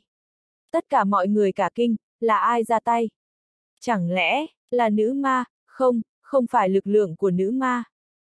Động chủ vô pháp thi động trong lòng mãnh liệt nhảy lên, điều khiển cản linh linh lơ lửng trên đỉnh đầu, thân thể già nua cũng đã kéo căng, cảm giác được trong thiên địa có một cổ khí tức đáng sợ ập tới. Cổ khí tức này là từ trong bán đạp sơn truyền đến, nhuệ khí động thiên, khiến người cực kỳ sợ hãi. Tứ phương thiên hầu cũng cực kỳ cường đại, nếu động chủ vô pháp thi động không có chấn thi thần phù và cản linh linh thì lực lượng của hắn đã có thể né nát động chủ vô pháp thi động thành hai nửa rồi. Nhưng cổ khí tức này lại cường địa hơn tứ phương thiên hầu quá nhiều. Tu sĩ vây ngoài bán đạp sơn, hai mặt nhìn nhau, có người suy đoán là nữ ma, cũng có người suy đoán là cự kình cổ xưa của tiên môn nào đó, mà ngay cả mấy cự kình của tà tông cũng trở nên ngưng trọng, cổ lực lượng này khiến bọn hắn cảm thấy tim đập nhanh. Là hắn. Phong Phi Vân đứng dưới chân bán đạp sơn, Phượng Hoàng Thiên Nhãn xuyên thấu qua tầng tầng thi vụ, thấy được một nam tử đứng trước huyệt, thân mặc áo giáp màu trắng không nhuộm bụi, khoáng lên áo choàng đỏ sậm mục nát. Hắn im im lặng lặng đứng ở nơi đó, mặc dù đã thành thi, nhưng dáng người lại vô cùng to lớn cao ngạo, như một thần tướng bất hủ vậy. Cạc cạc, dĩ nhiên là một cỗ cổ thi, vậy thì cùng thu luôn. Động chủ vô pháp thi động nhãn lực kinh người cỡ nào, ánh mắt xuyên thấu thi vân, chăm chú nhìn vào trên cổ thi mặc áo giáp trắng kia. Đây là cổ thi thiên cổ bất hủ, nếu có thể luyện thành thi nô, chiến uy quả thực có thể chấn thiên hạ. ầm ầm, động chủ vô pháp thi động cười xuống hắc bạch cản thi bào cha người, hắc bạch âm dương ngư trên cản thi bào cấp tốc chuyển động. Cản thi bào tế lên, mang theo hắc bạch âm dương ngư đồ, hóa thành một mảnh hắc bạch thần vân, muốn thu cổ thi mặc bạch khải kia vào trong. Hắc bạch cản thi bào là một kiện bí bảo cường đại hơn cả chấn thi thần phù và cản linh linh, cũng chính vì hắn mặc cản thi bào này mới có thể thừa nhận một trưởng của nữ ma mà không chết, đương nhiên đây chẳng qua chỉ là một trưởng tùy ý của nữ ma thôi. Bởi vậy có thể thấy được uy năng của hắc bạch cản thi bào cường đại thế nào. Bành! Trước huyệt, thi vụ đằng đằng. Phong si đứng ở nơi đó, nhìn một mảnh dốc đá đứng, đôi mắt không có bất kỳ thần thái nào, chỉ chậm rãi vươn một tay, một bàn tay tái nhợt mà hữu lực sờ vào không khí. Xíu, yêu yêu. Hắc bạch cản thi bào thần uy lay trời liền bay vào trong tay của hắn. Đây vốn là cản thi bào để thu phục thi tà, nhưng nhưng bây giờ lại bay vào trong tay một cổ thi tà. Một màn này quả thực quá dọa người rồi, khiến cảm rất nhiều người đều như muốn rớt trên mặt đất, cổ thi này đến cùng có địa vị gì, sao lại cường đại như vậy? Vậy mà khẽ vươn tay đã nắm hắc bạch cản thi bào trong tay, nam tử này khi còn sống tuyệt đối là cường giả vô địch. Một vị trưởng lão tà tông hít một hơi khí lạnh, bị hoàn toàn bị chấn nhiếp. Động chủ vô pháp thi động càng kinh hãi không thôi, sống mấy trăm năm, gặp qua vô số sinh vật cường đại, có chiến lực có thể so với cự kình, nhưng lại đều bị hắn chân áp, hôm nay gặp được cỗ thi tà này lại mang đến cho hắn cảm giác không thể nào cản nổi. Bỗng dưng, một đạo bạch quang bắn tới hắn. Thi tà này lại muốn phản giết hắn. Đạo bạch quang này lợi hại dọa người, phá tan 18 đạo linh thuật mà động chủ vô pháp thi động đánh ra, đánh xuyên qua thân thể già nua của hắn, lộ ra một lỗ thủng huyết hồng. Trốn! Trốn! Trốn! Lúc này trong lòng động chủ vô pháp thi động chỉ có một suy nghĩ duy nhất. Hắn mới thoát ra không bao xa, một bàn tay khổng lồ màu trắng liền từ trong bán đạp sơn duỗi ra, nắm lấy thân thể hắn. Không, muốn giết ta, nào có dễ dàng như vậy, ta đã tu luyện đến cấp bậc cự kình, không người nào có thể giết được ta. Động chủ vô pháp thi động thét dài một tiếng, nhiều nếp nhăn trên làn da sinh ra từng khối thi vân, mỗi một khối thi vân đều là dùng thân hình thi tà tế luyện thành, còn chắc chắn hơn cả thần giáp. Bành! Động chủ vô pháp thi động dãy rụa trong tuyệt vọng, thi vân bị bóp nát, thân thể của hắn biến thành một mảnh huyết phụ, bị niết đến nát bấy. Bàn tay màu trắng cực lớn kia lại thu trở về, biến mất trong tầng tầng thi vân. Cái này, vậy mà bóp chết một cự kình, đây chính là động chủ một tòa thi động, một nhân vật mấy trăm năm A. Trong không khí tràn ngập hàn ý, lòng của mỗi người đều sinh ra sợ hãi. Cự kình đã là nhân vật đứng ở đỉnh phong tu tiên giới, lại bị tay không bóp chết, người ra tay tu vi cao cường đại, khiến tất cả mọi người đều cảm thấy bất an. Chẳng lẽ trong bán đạp sơn có một vị vô thượng cự kình sao? Vô thượng cự kình, chính là xương hồ của nhân vật đỉnh phong nhất trong cự kình. Gió lạnh gào thét, lại có một hồi tiếng chuông vang lên. Leng keng, leng keng, leng keng. Phương Bắc, trên cánh đồng tuyết, ba lão giả mặc cản thi bào từ từ đi tới. Trong tay ba lão giả này đều cầm một cái cản thi linh nho nhỏ, phát ra ánh sáng tím, mặc trên người áo tím, chân mang giày rơm bện từ cây tử đằng. Phía sau của bọn hắn phân biệt đi theo ba bộ cổ thi, thân thể có chút cứng ngắc đi tới, trên đầu cổ thi mang tử quan, giống như vương miện đế vương vậy, vầng sáng chói mắt, ngoài mấy chục dặm cũng có thể trông thấy ánh sáng tím trên đỉnh đầu. Thật sự là trời trợ giúp tử minh thi động ta, cổ thi cường đại như thế nếu có thể đủ thu nhập dưới chứng tử minh thi động ta thì nhất định sẽ trở thành một thanh thần nhận trảm thiên. Một lão giả trong đó u ám cười, dáng tươi cười như lão quỷ trong đêm tối, tử trung trong tay cũng dồn dập thêm vài phần. Tử minh thi động, chính là một trong mấy thi động cổ xưa nhất Bắc Cương Phủ, so với vô pháp thi động cường đại hơn không biết gấp bao nhiêu lần. Đây là tam đại trưởng lão của tử minh thi động, còn có ba vị thi vương. Lần này là thật sự bị chấn kinh rồi, đây là lần đầu tiên trong ngàn năm qua cản thi nhân của tử minh thi động ra khỏi Bắc Cương Phủ, cái này không biết ý vị thế nào đây.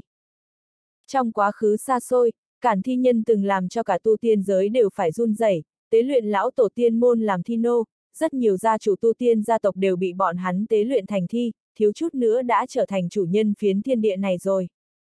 Lúc kia, thần tấn vương triều vẫn chưa thành lập, nhưng tử minh thi động cũng đã tồn tại, chính là một trong mấy thi động cao cấp nhất lúc đó, thế lực so với tứ đại môn phiệt hiện giờ còn cường đại hơn nhiều. Sau đại chiến, cản thi nhân bại lui Bắc Cương Phủ, không biết bao nhiêu thi động bị đồ diệt, nhưng tử minh thi động lại không nằm trong số đó, vẫn truyền thừa xuống dưới, từ đó về sau liền không ra khỏi Bắc Cương Phủ nữa. Nhiều tuế nguyệt trôi qua a, tử minh thi động đến cùng lại cường đại đến mức nào. Hôm nay tam đại trưởng lão của tử minh thi động mang theo ba tôn thi vương, đi tới Nam Thái Phủ, đây tuyệt đối là một tin tức không tốt có thể sánh ngang với việc tà tông xuất thế.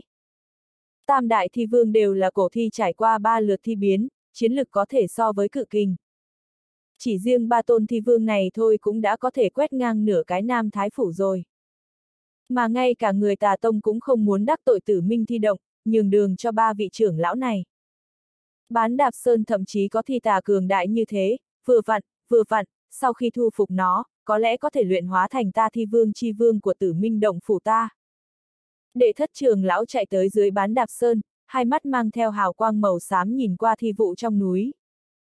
Quần long phệ thiên, thái vi thủ tâm, loạn thế đã thành, đại thế sụp đổ, tử minh thi động ta ngay hôm nay muốn tái nhập thiên hạ, xưng hùng trong loạn thế. Đệ bát trường lão thanh âm chấn thiên động địa, truyền vào trong tai mỗi người. Tử minh thi động muốn xuất thế, tất phải trước kinh thiên hạ, lần này chúng ta là đến Nam Thái Phủ để thu phục nữ thi lần thứ tư thi biến, luyện nàng thành thi nô của tử minh thi động. Đệ cửu trưởng lão cười nói.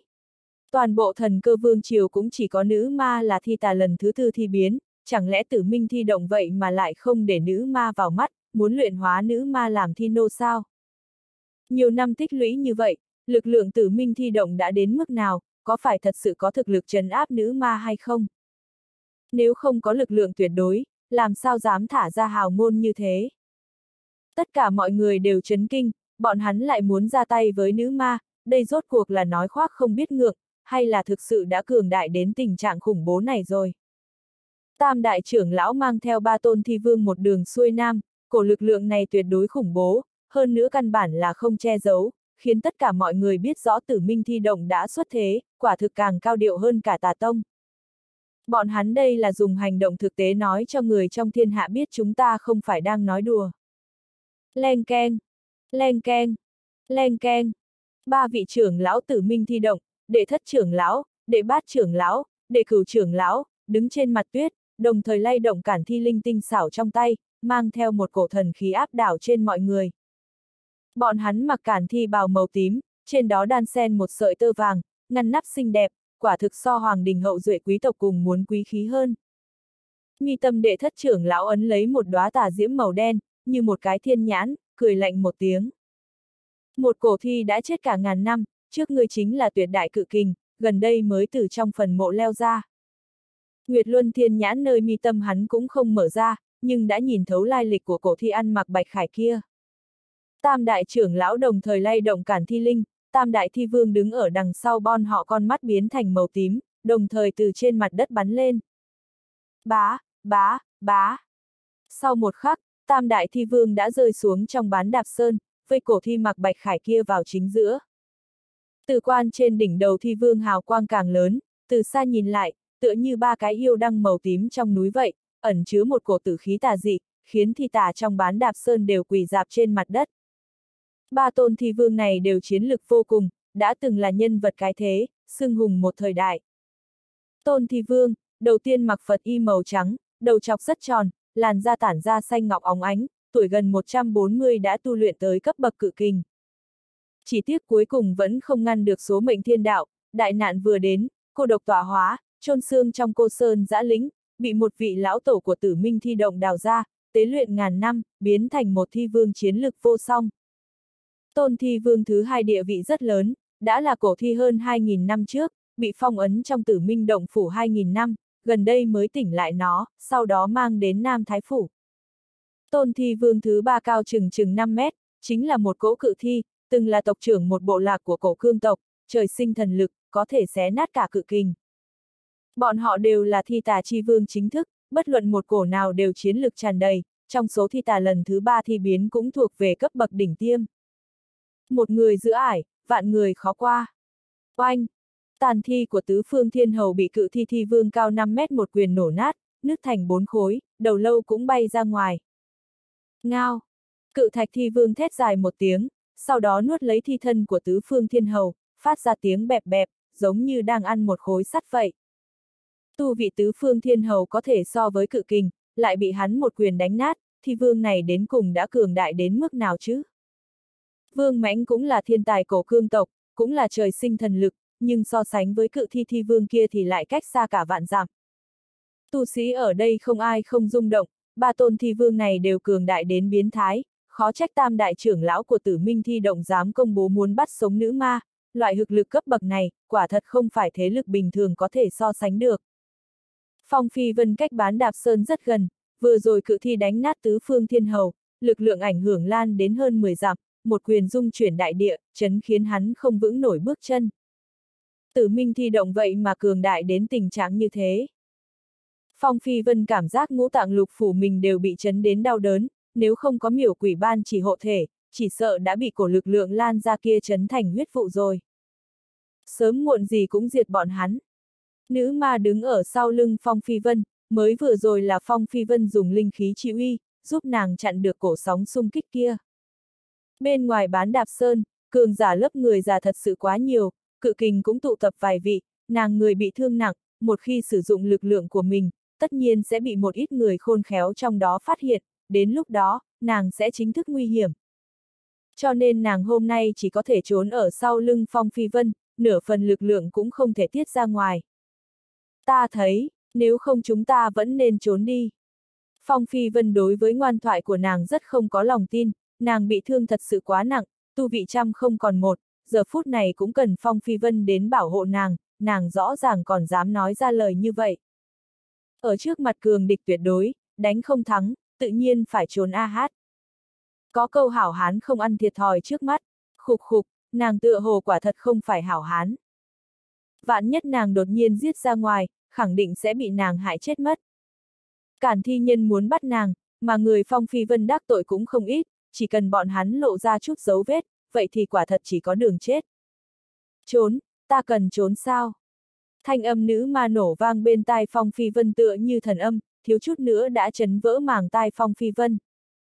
Nàng uy phong lẫm lẫm, như một nữ hoàng, lạnh lùng nhìn chằm chằm vào phong phi vân, ma khí trong mắt quay cuồng, tựa như nhật nguyệt treo trên bầu trời vậy. Nữ ma đại nhân, vô địch thiên hạ, tu vị cái thế vô song, tự nhiên không cần trốn, nên trốn thì phải là đám chuột nhắc bọn hắn rồi. Phong Phi Vân cảm giác sau lưng cũng như muốn kết băng, cột sống cũng như muốn đông lạnh đoạn liền vội vàng nói. Đang khi nói chuyện, trong bán đạp sơn thi khí càng tăng lên, đầm đặc đến giống như một ma huyệt màu đen vậy. Ba tôn thi vương cùng tồn tại, uy năng như ba tôn tham thiên sơn nhạc, đồng thời ra tay với bạch khải cô thi vẫn ở cạnh mộ huyệt không nhúc nhích kia. ầm ầm, trong bán đạp sơn, thi vân ngưng tụ, sau đó bị gió lạnh xoáy lên, hóa thành ba đạo cái thế cuồng long màu đen. Phong si lỗi lạc mà đứng, dáng người cao ngất, tựa như một gốc thanh tùng bất động bên vách đá, hai mắt tính mịch như biển, chậm rãi vươn một ngón tay điểm về phía trước. Đầu ngón tay sinh ra một mảnh vằn nước màu trắng, cao chừng 300 trượng, kết nối với thiên địa, như một đạo bình chướng hơi mờ. Công kích của ba vị thi vương vậy mà hoàn toàn bị đạo bình chướng hơi mờ này ngăn trở, chỉ là phát ra ba đạo rung động, không thể công phá. Đây là một màn cực kỳ quỷ dị.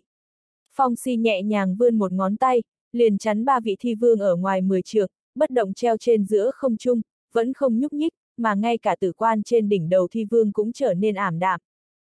Tại sao có thể như vậy? Tam đại trưởng lão của tử minh thi động kinh hãi không thôi, trên gương mặt có mồ hôi rơi xuống, trên người nổ bắn ra linh khí, toàn lực thúc giục cản thi linh. Lực lượng của bạch khải cổ thi này vượt quá dự đoán của bọn hắn. Đại. Phong si miệng có chút hé ra, hộc ra một chữ mơ hồ. Phong. Chữ thứ hai càng thêm mơ hồ, càng thêm mơ hồ. Kinh. Chữ thứ ba giống như đã hỗn tạp với tiếng gió, cơ hồ không ai phân biệt được rõ ràng. Thanh âm tuy rằng mơ hồ, nhưng Phong Phi Vân lại nghe rõ ràng, sắc mặt bỗng nhiên chấn động, Đại Phong Kình chính là thần pháp tu luyện của Phong gia, Bạch Khải Nam tử này chẳng lẽ thật là một vị tuyệt thế thiên tài của Phong gia, Phong gia cổ kim đệ nhất nhân, Phong si sao? Oanh! Sau khi ba chữ từ trong miệng hắn mơ hồ nhổ ra thì đầu ngón tay hắn chuyển đến một mảnh thanh âm nghiền nát, đây là không khí đang nghiền nát, biến thành một mảnh cuồng phong bao phủ thiên địa. Cuồng phong bao trùm mấy trăm dặm, tựa như ngàn vạn chuôi đao đang bay múa trong không khí vậy. Phốc, phốc, phốc. Ba vị thi vương đứng mũi chịu sào, bị sức gió cắn nát, biến thành mảnh vỡ, sau đó lại bị cắn nát thành bụi phấn, cuối cùng biến thành từng hạt bụi, theo gió bay đi. Mà ngay cả thi cung trong thế nội thi vương cũng bị đại phong kình cắn nát, biến thành bột mịn. Phong si điểm ra một ngón tay này che lấy mất trăm dặm, không chỉ có ba vị thi vương bị đánh thành cặn bã, tu sĩ bị dư âm còn lại đánh chết cũng có hơn trăm người, trong đó càng không thiếu tu sĩ cấp bậc thiên mệnh. Phong phi vân tế ra thanh đồng linh châu chắn phía trước hai người, mới tránh thoát một kiếp này, nhưng vẫn bị cương phong xé nứt, tính cả thanh đồng linh châu đều bị đánh vào lòng đất. Đại phong kình làm sao có thể có được lực lượng cường đại như thế, chẳng lẽ đây chính là tầng thứ 9 trí cao của đại phong kình trong truyền thuyết sao? Chỉ cần là đệ tử phong gia đều có thể tu luyện đại phong kình, nhưng có thể tu luyện đại phong kình tới tầng thứ 6 đã ít càng thêm ít, phong gia hiện giờ cũng chỉ có 3 vị lão tổ mới tu luyện đại phong kình đến tầng thứ 7. Trong truyền thuyết, cũng chỉ có một mình phong si là có thể tu luyện đại phong kình đến tầng thứ 9 trí cao. Tam đại thi vương đều bị một chiêu đuổi giết, biến thành bột phấn. Toàn bộ bán đạp sơn, tất cả thi tà đều bị chấn nát, đống cát đen đầy đất, trở nên vô cùng yên tĩnh, ngoại trừ tiếng gió liền không còn thanh âm nào khác nữa. Nhưng giờ phút này, tiếng mà mỗi người ở đây sợ nghe nhất cũng chính là tiếng gió. Phong si vẫn cứ vậy yên tĩnh đứng cạnh mộ huyệt, một con mèo con màu trắng từ trong huyệt mộ bò ra, nhảy lên đầu vai của hắn lên, mèo, con mắt mèo con nhìn qua phương xa, nhìn ra tu sĩ ở dưới núi không có chút sợ hãi. Trong núi độc đứng một cổ thi, đổ thiên hạ, chấn nhiếp mọi người, vô luận là tà tông, chính đạo, cản thi nhân, không một ai dám tiến lên một bước, ngay cả động cũng không dám động chút nào. Đây là tư thế oai hùng bực nào chứ? Chính như một người đã đủ giữ quan ải, vạn phu đều khiếp sợ. Các ngươi xem, áo giáp trên người hắn trên đó còn khắc một văn tự cổ xưa, đó là một chữ phong. Không biết hiên lặng bao lâu, rốt cục có người quát to một tiếng, chỉ vào bạch khái nam tử trong bán đạp sơn kia. Áo giáp trên người hắn thập phần tương tự với áo giáp của phong gia hộ pháp đường, chẳng lẽ hắn khi còn sống chính là một nhân vật kinh thiên vĩ địa của phong gia sao? Không có khả năng, phong gia tuy rằng ở Nam Thái Phủ coi như tương đối cường đại, nhưng trong toàn bộ thần tấn vương triều lại không thể lên được mặt bàn, làm sao có thể đản sinh ra một vị nhân vật tuyệt thế như thế chứ? Một vị trưởng lão tà tông quả quyết bác bỏ. Phó điện chủ của Sâm La Điện đệ tứ điện nói. Ta đã đoán được hắn là ai, đích thật là một vị thiên kiêu của phong gia, chỉ tiếc đã vẫn lạc hơn một nghìn năm, thân sau khi chết, từ trong phần mộ leo ra, hào quang vẫn chiếu dọi thiên hạ như trước. Ta cũng đoán được hắn là ai rồi, có lẽ chính là phong gia trí cổ đệ nhất nhân. Thập đại trí cường cao thủ không ra, thiên hạ không tìm ra ba người có thể địch lại hắn. Một lão già tóc bạc trên đầu ngưng tụ tam thanh cổ liên hai mắt sáng ngời nhìn qua bán đạp sơn. Cho dù cường đại hơn nữa, cũng chỉ là một cỗ thi tà. Phốc, tà tông trưởng lão này còn chưa dứt lời, đã bị một đạo bạch quang từ trong bán đạp sơn bay ra xuyên thủng, thân thể bạo liệt thành huyết phụ, sinh tử đạo tiêu. Phó điện chủ đệ tứ điện muốn cứu hắn nhưng lại không ngăn được một kích của phong si. Phong gia đã từng có nhân vật tuyệt thế như thế, khó trách ở thời đại này, sẽ xuất hiện loại nhân kiệt tuyệt đỉnh như song ma. Có con người L cảm giác thán, nghĩ tới tiểu tà ma và yêu ma chi tử trong một đời tuổi trẻ, đều là tiểu bối của phong gia, chỉ là yêu ma chi tử đã bị đương đại gia chủ trục xuất khỏi phong gia rồi. Ba tôn thi vương biến thành bụi, đi ra không bao lâu đã tan biên, đây chính là ba tôn siêu cấp chiến lực có thể so với cự kình, đối với tử minh thi động mà nói tổn thất thật sự quá lớn. Cản thi linh trong tay tử minh tam trưởng lão bạo liệt, ngực bị đại phong kình xuyên qua, trên người thần khí không còn, chỉ có khiếp sợ, ngoài khiếp sợ, vẫn là khiếp sợ. Tử minh thi động tích lũy nhiều năm, chính là để hôm nay bỗng nhiên nổi tiếng, rung động thiên hạ, nhưng không ngờ vừa tới được bán đạp sơn đã gặp phải đại kiếp nạn, ba tôn thi vương đều bị người đơn giản xóa sổ. Tử minh tam trưởng lão không dám ở chỗ này thêm nữa, ống tay áo vung lên, một đạo xương mù ngưng tụ thành thiên kiều, từ dưới chân, một mực kéo dài đến bên ngoài thiên mạc, đây là quỷ tiên kiều. Bước vào quỷ tiên kiều, ngàn dặm một bước xa. Cản thi nhân và tầm bảo sư cũng giống nhau, đều là nhân vật biên duyên của tu tiên giới, thường thường đều tiến vào một ít âm dương tuyệt địa, một khi gặp được hung hiểm và điểm xấu, cách làm sáng suốt nhất chính là mở ra quỷ tiên kiều. Bước lên quỷ tiên kiều, một bước có thể độ ngàn dặm, thần quỷ khó truy. Tử Minh Tam trưởng lão đã cảm nhận được sát ý của phong si cổ thi, cho nên bọn hắn mới mở ra quỷ tiên kiều, chỉ có như vậy mới có thể giữ được một mạng. Phốc, phốc, phốc, tử Minh Tam trưởng lão bước chân vào quỷ tiên kiều, chạy trốn tới ngoài ngàn dặm, nhưng vẫn không thoát khỏi sát kiếp, bị phong si cách ngàn dặm đánh chết, ba người đều bị bóp nát, thân thể biến thành bột máu, đầy trời đều là hương vị huyết tinh. Tay phong si vẫn có chút rũi về phía trước, ở ngoài ngàn dặm mây đen cuồn cuộn, huyết lãng tầng tầng lớp lớp, thẳng đến khi hắn thu tay về, một mảnh hung vân màu đen kia mới chậm rãi tán đi. Quá bị đè nén, tử minh tam trưởng lão đều là cường giả lớp người già, nhưng lại bị cách ngàn dặm đánh chết, căn bản không thể thoát được. Đây mới thực là lực lượng của vô thượng cự kinh. Hô! Dưới bán đạp sơn, một ít tu sĩ tuổi trẻ đã bắt đầu lui lại, có phong si canh giữ ở bán đạp sơn, coi như là thiên quân vạn mã đánh tới cũng không làm được gì, đây quả thực là nhân vật cái thế trong truyền thuyết thần thoại. Sâm la thập điện, có phó điện chủ năm điện đều tề tụ dưới bán đạp sơn, vô số cường giả tà tông cũng không thối lui, ở dưới bán đạp sơn trong ba ngày, cuối cùng vẫn bất đắc dĩ buông tha cho. Tuy rằng bọn hắn liên hợp lại, có lực lượng đánh một trận với phong si, thậm chí có khả năng có thể đánh bại phong si, nhưng nhất định sẽ trả một cái giá cực lớn, tử minh thi động tam đại trưởng lão bị mất mạng chính là ví dụ tốt nhất. Cái giá cực lớn này khiến bọn hắn do dự, cuối cùng vẫn quyết định lui lại. Vốn cho rằng trận tranh đoạt này sẽ chết rất nhiều người, lại không nghĩ bị một mình phong si chấn trụ tràng diện, khiến tất cả mọi người thối lui. Dưới bán đạp sơn chỉ có phong phi vân và nữ ma vẫn chưa rời đi. Nữ ma muốn nhờ lực lượng của tế đàn cổ xưa để khôi phục tu vị, lại tiến nhập vào trong tu luyện, ngồi xuống chính là 7 ngày, vẫn không nhúc nhích, ngay cả mắt cũng không mở ra một cái. Những ngày qua, cũng có người không hết hy vọng quay lại bán đạp sơn, nhưng khi thấy bạch khải cổ thi trong khe núi thì nguyên một đám liền lại rất xa rút đi, không một ai dám bước vào trong bán đạp sơn 10 dặm. Có lẽ là bởi vì thi khí trong bán đạp sơn quá nặng, lục tục ngo ngoe, lại có vô số thi tà hội tụ đến đây, mới mấy ngày liền lại có hàng hà thi tà chiếm giữ trong núi, khiến nơi này biến thành một chỗ tử địa người sống không thể tiến vào. Long Hoàng đao quyết chiêu thứ hai, Long Hoàng lâm cửu thiên. Phong phi vân bay giữa không trung, khí thế bá đạo, thân hình ngã ngửa, hai tay nắm lấy bạch thạch cự đao, giơ lên cao đánh xuống, đao khí biến thành một đầu thần long màu trắng. Đao khí dài chừng 18 mét, giống như một đầu chân long ngang trời mà ra, trên long thủ còn lơ lửng vương miệt, ngưng tụ tất cả lực lượng đao khí. Oanh! Ba đầu thi tà máu chảy đầm đìa bị đao khí cắn nát, rơi xuống ba tòa bạch cốt thi cung lớn chừng nắm tay, trên thi cung còn nhuộm một tia vết máu. Long Hoàng đao quyết thật sự là bác đại tinh thâm, rất khó tu luyện, tìm hiểu 7 ngày cũng chỉ có thể lĩnh ngộ một tầng chân tủy của chiêu này. Phong Phi Vân thu đao mà đứng, trên lưỡi đao long khí vẫn đang lưu động, mang theo từng đạo long văn nhàn nhạt. Sau khi tu luyện chiêu thứ nhất Long Hoàng nhất đao sát tới 10 tầng chân tủy, hắn cũng đã tìm hiểu chiêu thứ hai Long Hoàng Lâm Cửu Thiên, hiện giờ cũng chỉ có thể phát huy ra lực lượng một tầng chân tủy.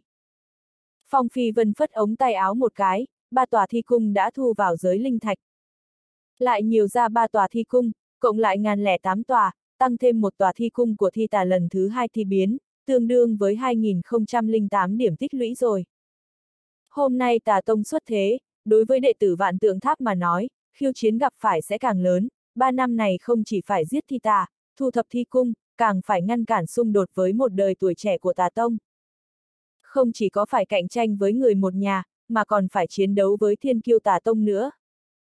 Đây là một hồi khảo nghiệm đối với lực lượng và tâm trí. Đương nhiên, người chính thức có thể chịu đựng khảo nghiệm, tương lai mới có thể trở thành cường giả đỉnh tiêm. Đã qua 3 tháng, còn 3 tháng nữa sẽ là thiên cầu thực nguyệt dạ, bên bờ Thánh Hồ, khẳng định sẽ lại là một hồi long tranh hổ đấu, không biết lần này vạn tượng tháp còn có thể bị bại thảm như vậy hay không đây. Phong Phi Vân nhẹ nhàng thở dài, đột nhiên trong lòng tim đập mạnh một cú, cười hắc hắc, xoay người, chắp tay cúi đầu. Chúc mừng nữ ma đại nhân tu vị tận phục, chiến lực trở lại đỉnh phong, cửu thiên thập địa lại vô địch thủ. Nữ ma mặc nho bào màu trắng, như một mỹ nữ sư tỷ của vạn tượng tháp, đứng ở ngoài trăm trượng, dưới một cây gỗ khô màu đen, tóc đen theo gió bay múa, cũng không biết là khi nào đã đứng ở chỗ đó. Thấy Phong Phi Vân đã phát hiện nàng, vì vậy nàng liền lướt ngang một bước, bá, lưu lại trong không khí một bóng dáng liên tục, sau một khắc đã xuất hiện ở trước mặt Phong Phi Vân.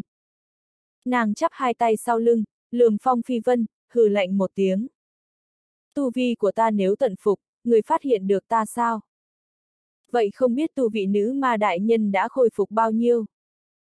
Phong Phi Vân cười hắc hắc, tự nhiên biết rõ tu vị nữ ma vẫn chưa khôi phục, vừa rồi nói như vậy cũng chỉ là nịnh nọt thôi. Hừ, nữ ma sắc mặt sát khí đồ sinh, bước về phía trước một bước, duỗi ra một cánh tay ma diễm lượn lờ trực tiếp nắm lấy cổ Phong Phi Vân, hai mắt nghiêm nghị nhìn hắn, nói. Giết ngươi, tuyệt đối không có vấn đề. Phong Phi Vân cảm giác được yết hầu cũng bị phong bế, huyết dịch hóa thành băng, ngay cả hô hấp cũng không thể, cổ cũng như muốn bị nàng vặn xuống, khiến hắn ho khan hai tiếng, mặt không đổi sắc, cất cao giọng nói. Nữ ma đại nhân, chiến lực vô song, cửu thiên thập địa, không người có thể địch.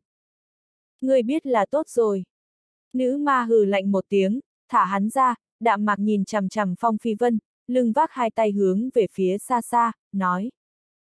Còn không theo kịp. Phong Phi Vân hai tay ngưng tụ ở đan điền, điều động ngũ hành xích hỏa lực trong đan điền, hóa đi hàn băng trong mau, trên cổ một đạo hàn khí bị buộc ra bên ngoài làn da. Khó trách được xưng là nữ ma, quả thực quá hỉ nộ vô thường, nếu không phải tu vị nàng chưa khôi phục, ta còn giá trị lợi dụng với nàng thì vừa rồi đã chết trong tay nàng rồi. Cũng theo như lời nữ ma. Tại trước mặt của ta, có lẽ không tồn tại vật sống nào cả. Bởi vì nàng cũng không phải là một vật còn sống, ngàn vạn không thể coi nàng là người được, càng không thể trở thành một nữ nhân. Ngày đó mang nàng hạ sơn, đây quả thực là tự mình đào hầm, tự mình nhảy.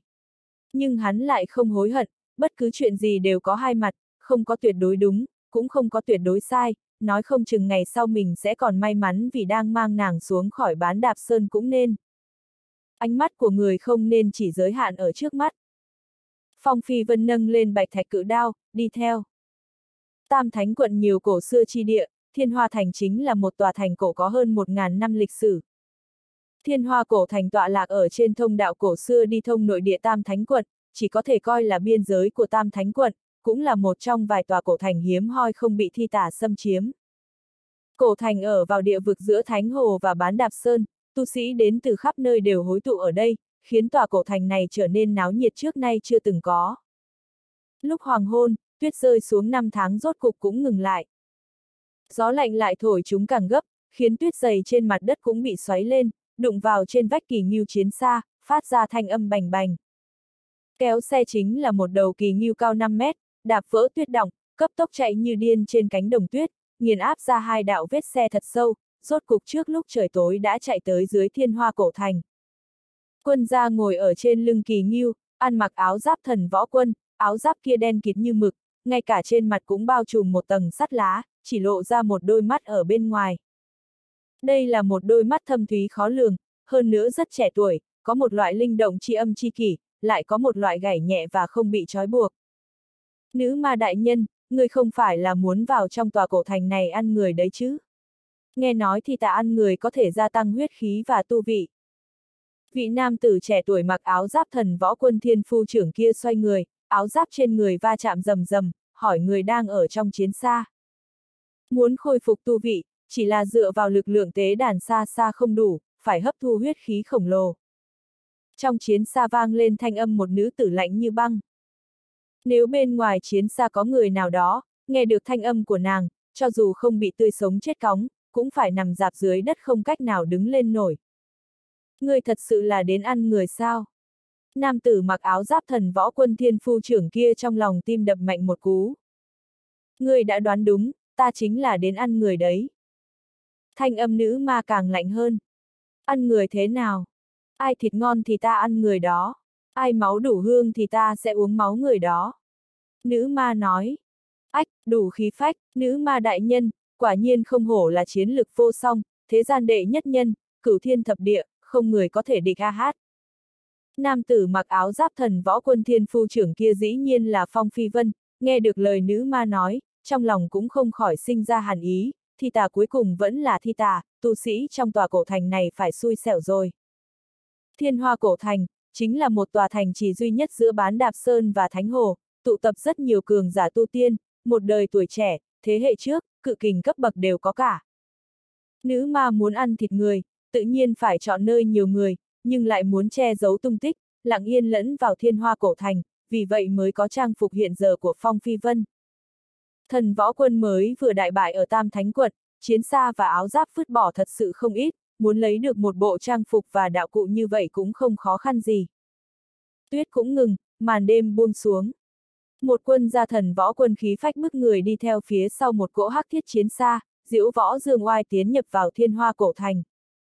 Đây là một đầu huyết hà vùi trong lòng đất, từ nam chảy tới bắc, rộng lớn trăm trượng. Trên mặt sông đỏ như máu, sóng cả mãnh liệt, va chạm vào thạch bích trên mặt đất, phát ra thanh âm nổ vang, giống như chuông đồng quan thạch, âm vang khiếp người. Nữ ma giờ phút này đang đứng trên mặt sông huyết hồng, bị huyết thủy bao lấy, huyết khi vô tận đều đang chảy xuôi vào cơ thể nàng. Dưới đáy thiên hoa cổ thành vậy mà chảy xuôi một đầu huyết hà, chẳng lẽ huyết dịch của toàn bộ người chết trong Nam Thái Phủ đều tụ tập xuống đất, dung hội đến trong đầu huyết hà này sao? Dưới mặt đất hắc ám, nhưng hắc ám lại không ngăn được ánh mắt Phong Phi Vân. Đây chính là nơi sâu vài trăm mét dưới lòng đất thiên hoa cổ thành, có một cái lối đi từ trong cổ thành một mực kéo xuống đây, nếu không có nữ ma dẫn đường, Phong Phi Vân cũng tuyệt đối không đoán được dưới lòng đất lại có cảnh tượng như vậy. Như hoàng tuyền trong địa ngục vậy. Nữ ma không ăn người, nhưng còn đáng sợ hơn cả ăn người. Phong Phi Vân ở bên cạnh huyết hà chờ đợi hai ngày, nữ ma vẫn không hề có ý ra khỏi huyết hà, vẫn đang thông phệ huyết khí, cũng chẳng biết lúc nào mới có thể tỉnh lại. Lúc này không đi, chẳng phải là đồ đần sao. Phong Phi Vân dọc theo thông đạo hướng bước lên mặt đất, ước chừng nửa canh giờ đã lại thấy ánh mặt trời, cửa ra vào thông đạo là một tòa dịch quán âm trầm, trong dịch quán đặt mấy chục cỗ quan tài ngổn ngang lộn xộn. Thông qua Phượng Hoàng Thiên Nhãn, có thể trông thấy từng đoàn từng đoàn khắp lê chi khí thảm lục đậm đặc trong quan tài, trong khắp lê chi khí bao vây lấy vô số cỗ thi tà diện mục dữ tợn. Mặc dù đang là giữa ban ngày, nhưng trong dịch trạm vẫn hàn khí khiếp người, trong quan tài cũng phủ lên một tầng tuyết thật dày. Bá, bá. Canh giữ trong dịch quán là một lão giả tóc hoa dâm, thân thể tiều tụy tựa như vật liệu gỗ, cầm một cái chổi đang quét rác. Hai ngày trước, lúc Phong Phi Vân và nữ ma đến lão giả này cũng đứng ở nơi đó quét rác, hiện giờ vẫn đang quét, mặc dù trên mặt đất ngay cả một mảnh lá cây cũng không có nhưng hắn vẫn không dừng lại. Thi tà thật cường đại, nhất định là một cỗ thi tà lần thứ ba thi biến. Linh giác của Phong Phi Vân phát hiện trên người lão giả này một tia sinh mệnh lực cũng không có, có chẳng chỉ là một cổ thi khí. Phong Phi Vân cẩn thận từng ly từng tí đi qua cạnh hắn, thẳng đến khi ra khỏi tòa dịch quán cổ xưa kia hắn mới thở dài một hơi, thi tà lần thứ ba thi biến khí tức thật sự quá khổng lồ, có thể đè né cả linh hồn người. Mấy ngày nay, vô số tu sĩ đều tụ tập đến thiên hoa cổ thành, có rất nhiều vì thượng cổ tế đàn của bán đạp sơn, có rất nhiều vì thánh hồ đại chiến không lâu sau, trong lúc nhất thời, cổ thành bị thi tà vây quanh này vậy mà trở nên phi thường náo nhiệt, ngựa xe như nước. Dầm dầm. Phong Phi Vân mặc khải giáp màu đen của thần võ quân thiên phu trưởng, sắt lá che khuất cả nửa mặt hắn, cưỡi một đầu kỳ nghiêu còn to hơn cả voi diễu võ dương oai đi trên đường cái. Trên lưng treo một thanh huyền thiết chiến đao, chừng 780 cân, quả thật có vài phần phong phạm của một đời mãnh tướng. Cút ngay, cút ngay, tránh xa lão tử một chút, coi chừng lão tử một đao bổ ngươi. Phong Phi Vân chứa giọng quan, nâng cao lồng ngực, giống to lên với một tu sĩ chặn đường, đối phương thấy hắn ăn mặc áo giáp của thần võ quân liền bị dọa sợ, vội vàng tán qua một bên. Ngân câu phường. Phong Phi Vân dừng bên ngoài ngân câu phường ở thiên hoa cổ thành, hai tay chống nạnh, ngẩng đầu, nhớ kỹ ba chữ trên tấm biển này. Chỉ cần là nơi có người, thì tuyệt đối sẽ không thiếu khuyết sản nghiệp của ngân câu gia tộc, chỉ cần là nơi có thành trì, thì khẳng định sẽ có ngân câu phường. Trong thiên hạ nơi nào linh bảo nhiều nhất, không phải thần tấn đế cung, cũng không phải vạn tượng tháp, lại càng không là sâm la thập điện, mà là ngân câu phường. Phong Phi Vân đạt đến cảnh giới thần cơ đại viên mãn, muốn nhanh chóng tăng lên tu vị, cũng chỉ có dựa vào linh thảo và linh thạch, chỉ cần có tiền, thì hai thứ này đều có thể mua được ở ngân câu phường. Một cây thiên nhiên linh thảo có thể mở ra 10 tòa mệnh huyệt, một khối chân diệu linh thạch, có thể mở ra một tòa mệnh huyệt. Ba ba. Phong Phi Vân đi tới cửa lớn của ngân câu phường, dùng chiến đao trong tay vỗ vỗ đại môn, dắt cuống họng kêu lên với bên trong. Có người sống hay không? Chỉ cần ra đủ giá, người sống cũng có bán. Một trung niên nhân có chút mập mạp từ bên trong đi ra. Trung niên nhân này ước chừng khoảng 40 tuổi, mặc một bộ cẩm bào, trên mặt tràn đầy tươi cười, trong đôi mắt híp lại chấp động lấy tinh mang, tựa như một con hồ ly vừa chui ra khỏi đất vậy. Chỗ các người rõ ràng bán người sống. Phong Phi Vân nói. Bán, người muốn mua nô bộc, cái này tổng cộng phân tam đẳng. Người muốn mua nữ nhân, ở đây phân tam đẳng. Nếu có người nguyện ý xuất tiền, người chết chúng ta cũng muốn bán. Ngân câu phường, không có sinh ý không làm. Trung niên nhân cười nói. Phong Phi Vân tự nhiên là người thông minh, cười nói. Thiên hạ này có người mua người chết sao? Tự nhiên có, hơn nữa còn rất nhiều. Trung niên nhân nói. Người nói người chết, là thi tà sao? Phong Phi Vân nói. Trung niên nhân hiểu ý cười, có chút nhẹ gật đầu. Mua thi tà chỉ có hai loại người, một loại là cản thi nhân, một loại là đệ tử vạn tượng tháp. Cản thi nhân mua thi tà, tự nhiên là dùng để tế luyện thi nô. Đệ tử vạn tượng tháp mua thi tà, tự nhiên là vì đổi được càng nhiều điểm tích lũy hơn nữa. Sinh ý ngân câu gia tộc làm thật lớn, khó trách được xưng là gia tộc giàu có nhất thiên hạ. Phong Phi Vân cảm thán một câu, hỏi. Ngươi chính là chủ sự của tòa ngân câu phường này sao? Hồi bẩm thiên phu đại nhân, tiểu nhân tên là Đông Phương Nhất Dạ, hôm qua vừa mới đến thiên hoa cổ thành. Đông Phương Nhất Dạ con mắt cười đến híp lại thành một đạo khe hở, chỉ là vầng sáng trong ánh mắt vẫn không giảm. Tu vị người này không phải chuyện đùa, đã tu luyện long hồ chính khí đến cảnh giới tuyệt cao, ngay cả Phượng Hoàng Thiên Nhãn cũng không thể thấy rõ tu vị chân thực của hắn. Phục họ Đông Phương, xem ra là cường giả mà ngân câu gia tộc sai phái tới, muốn phát tài tại Tam Thánh quận đang đại loạn này rồi. Tam Thánh quận thế cục phức tạp cỡ nào, Tà Tông và Cản Thi Nhân đều lần lượt xuất thế, ngân câu gia tộc không có khả năng phái tới một người đơn giản. Một người đơn giản cũng không thể chấn được tràng diện, càng không khả năng kiếm tiền trong loạn thế được. Đông phương chủ sự thật sự khách khí, ta chỉ là một tên thần vũ thiên phu nho nhỏ thôi. Phong Phi Vân bắt đầu cẩn thận. Chỉ cần là người đi vào ngân câu phường tiêu tiền, mặc dù chỉ là một tên ăn mày, đó cũng là đại gia. Đông phương nhất dạ vẫn nhìn chằm chằm vào Phong Phi Vân cười, đôi mắt kia tựa hồ có thể nhìn thấu thiết giáp trên người Phong Phi Vân vậy.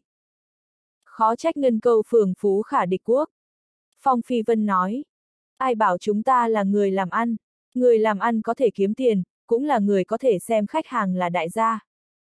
Đông Phương Nhất Dạ cười nói.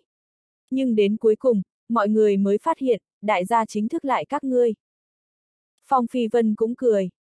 Sau khi trầm mặc nửa ngày, hai người đều nở nụ cười. Đông Phương Nhất Dạ mời Phong Phi Vân vào trong ngân câu phường, bên trong càng thêm khoáng đạt, trang trí vàng son lộng lẫy, tựa như một tòa hoàng cung cổ điện vậy. Ngân câu phường thật sự là lớn đến thần kỳ, có cầu thang một mực kéo dài lên trên, cũng không biết tổng cộng có bao nhiêu tầng nữa. Không biết thiên phu đại nhân muốn mua thứ gì? Đông Phương Nhất Dạ hỏi. Thiên niên linh thảo. Phong Phi Vân nói. Đông Phương Nhất Dạ dừng bước, lần nữa đánh giá Phong Phi Vân một phen, đôi mắt sắc bén kia hào quang cũng càng thêm sáng chói. Chẳng lẽ ngân câu phường không có thiên niên linh thảo? Phong Phi Vân nhíu mày. Ngân câu phường không có thứ không mua được, mấu chốt là có mua nổi hay không thôi. Đông Phương Nhất Dạ cười hắc hắc. Người vốn không phải là thần võ quân thiên phu trưởng. Hắn ngữ khí khẳng định nói. Ánh mắt người này thật cay độc, quả thực thật là đáng sợ. Hắc hắc. Phong Phi Vân từ chối cho ý kiến cười cười. Có phải là thần võ quân thiên phu trưởng hay không cũng không trọng yếu, quan trọng là, hôm nay Ngân Câu phường tổng cộng có ba gốc thiên niên linh thảo, hai cây bạch hạc lăng và một cây tam thanh mẫu tư hoa, mỗi một cây 500 vạn miếng kim tệ, chỉ cần thiên phu đại nhân đưa ra đủ tiên, ta sẽ bán cho ngươi ngay. Đông Phương Nhất Giả cười nói.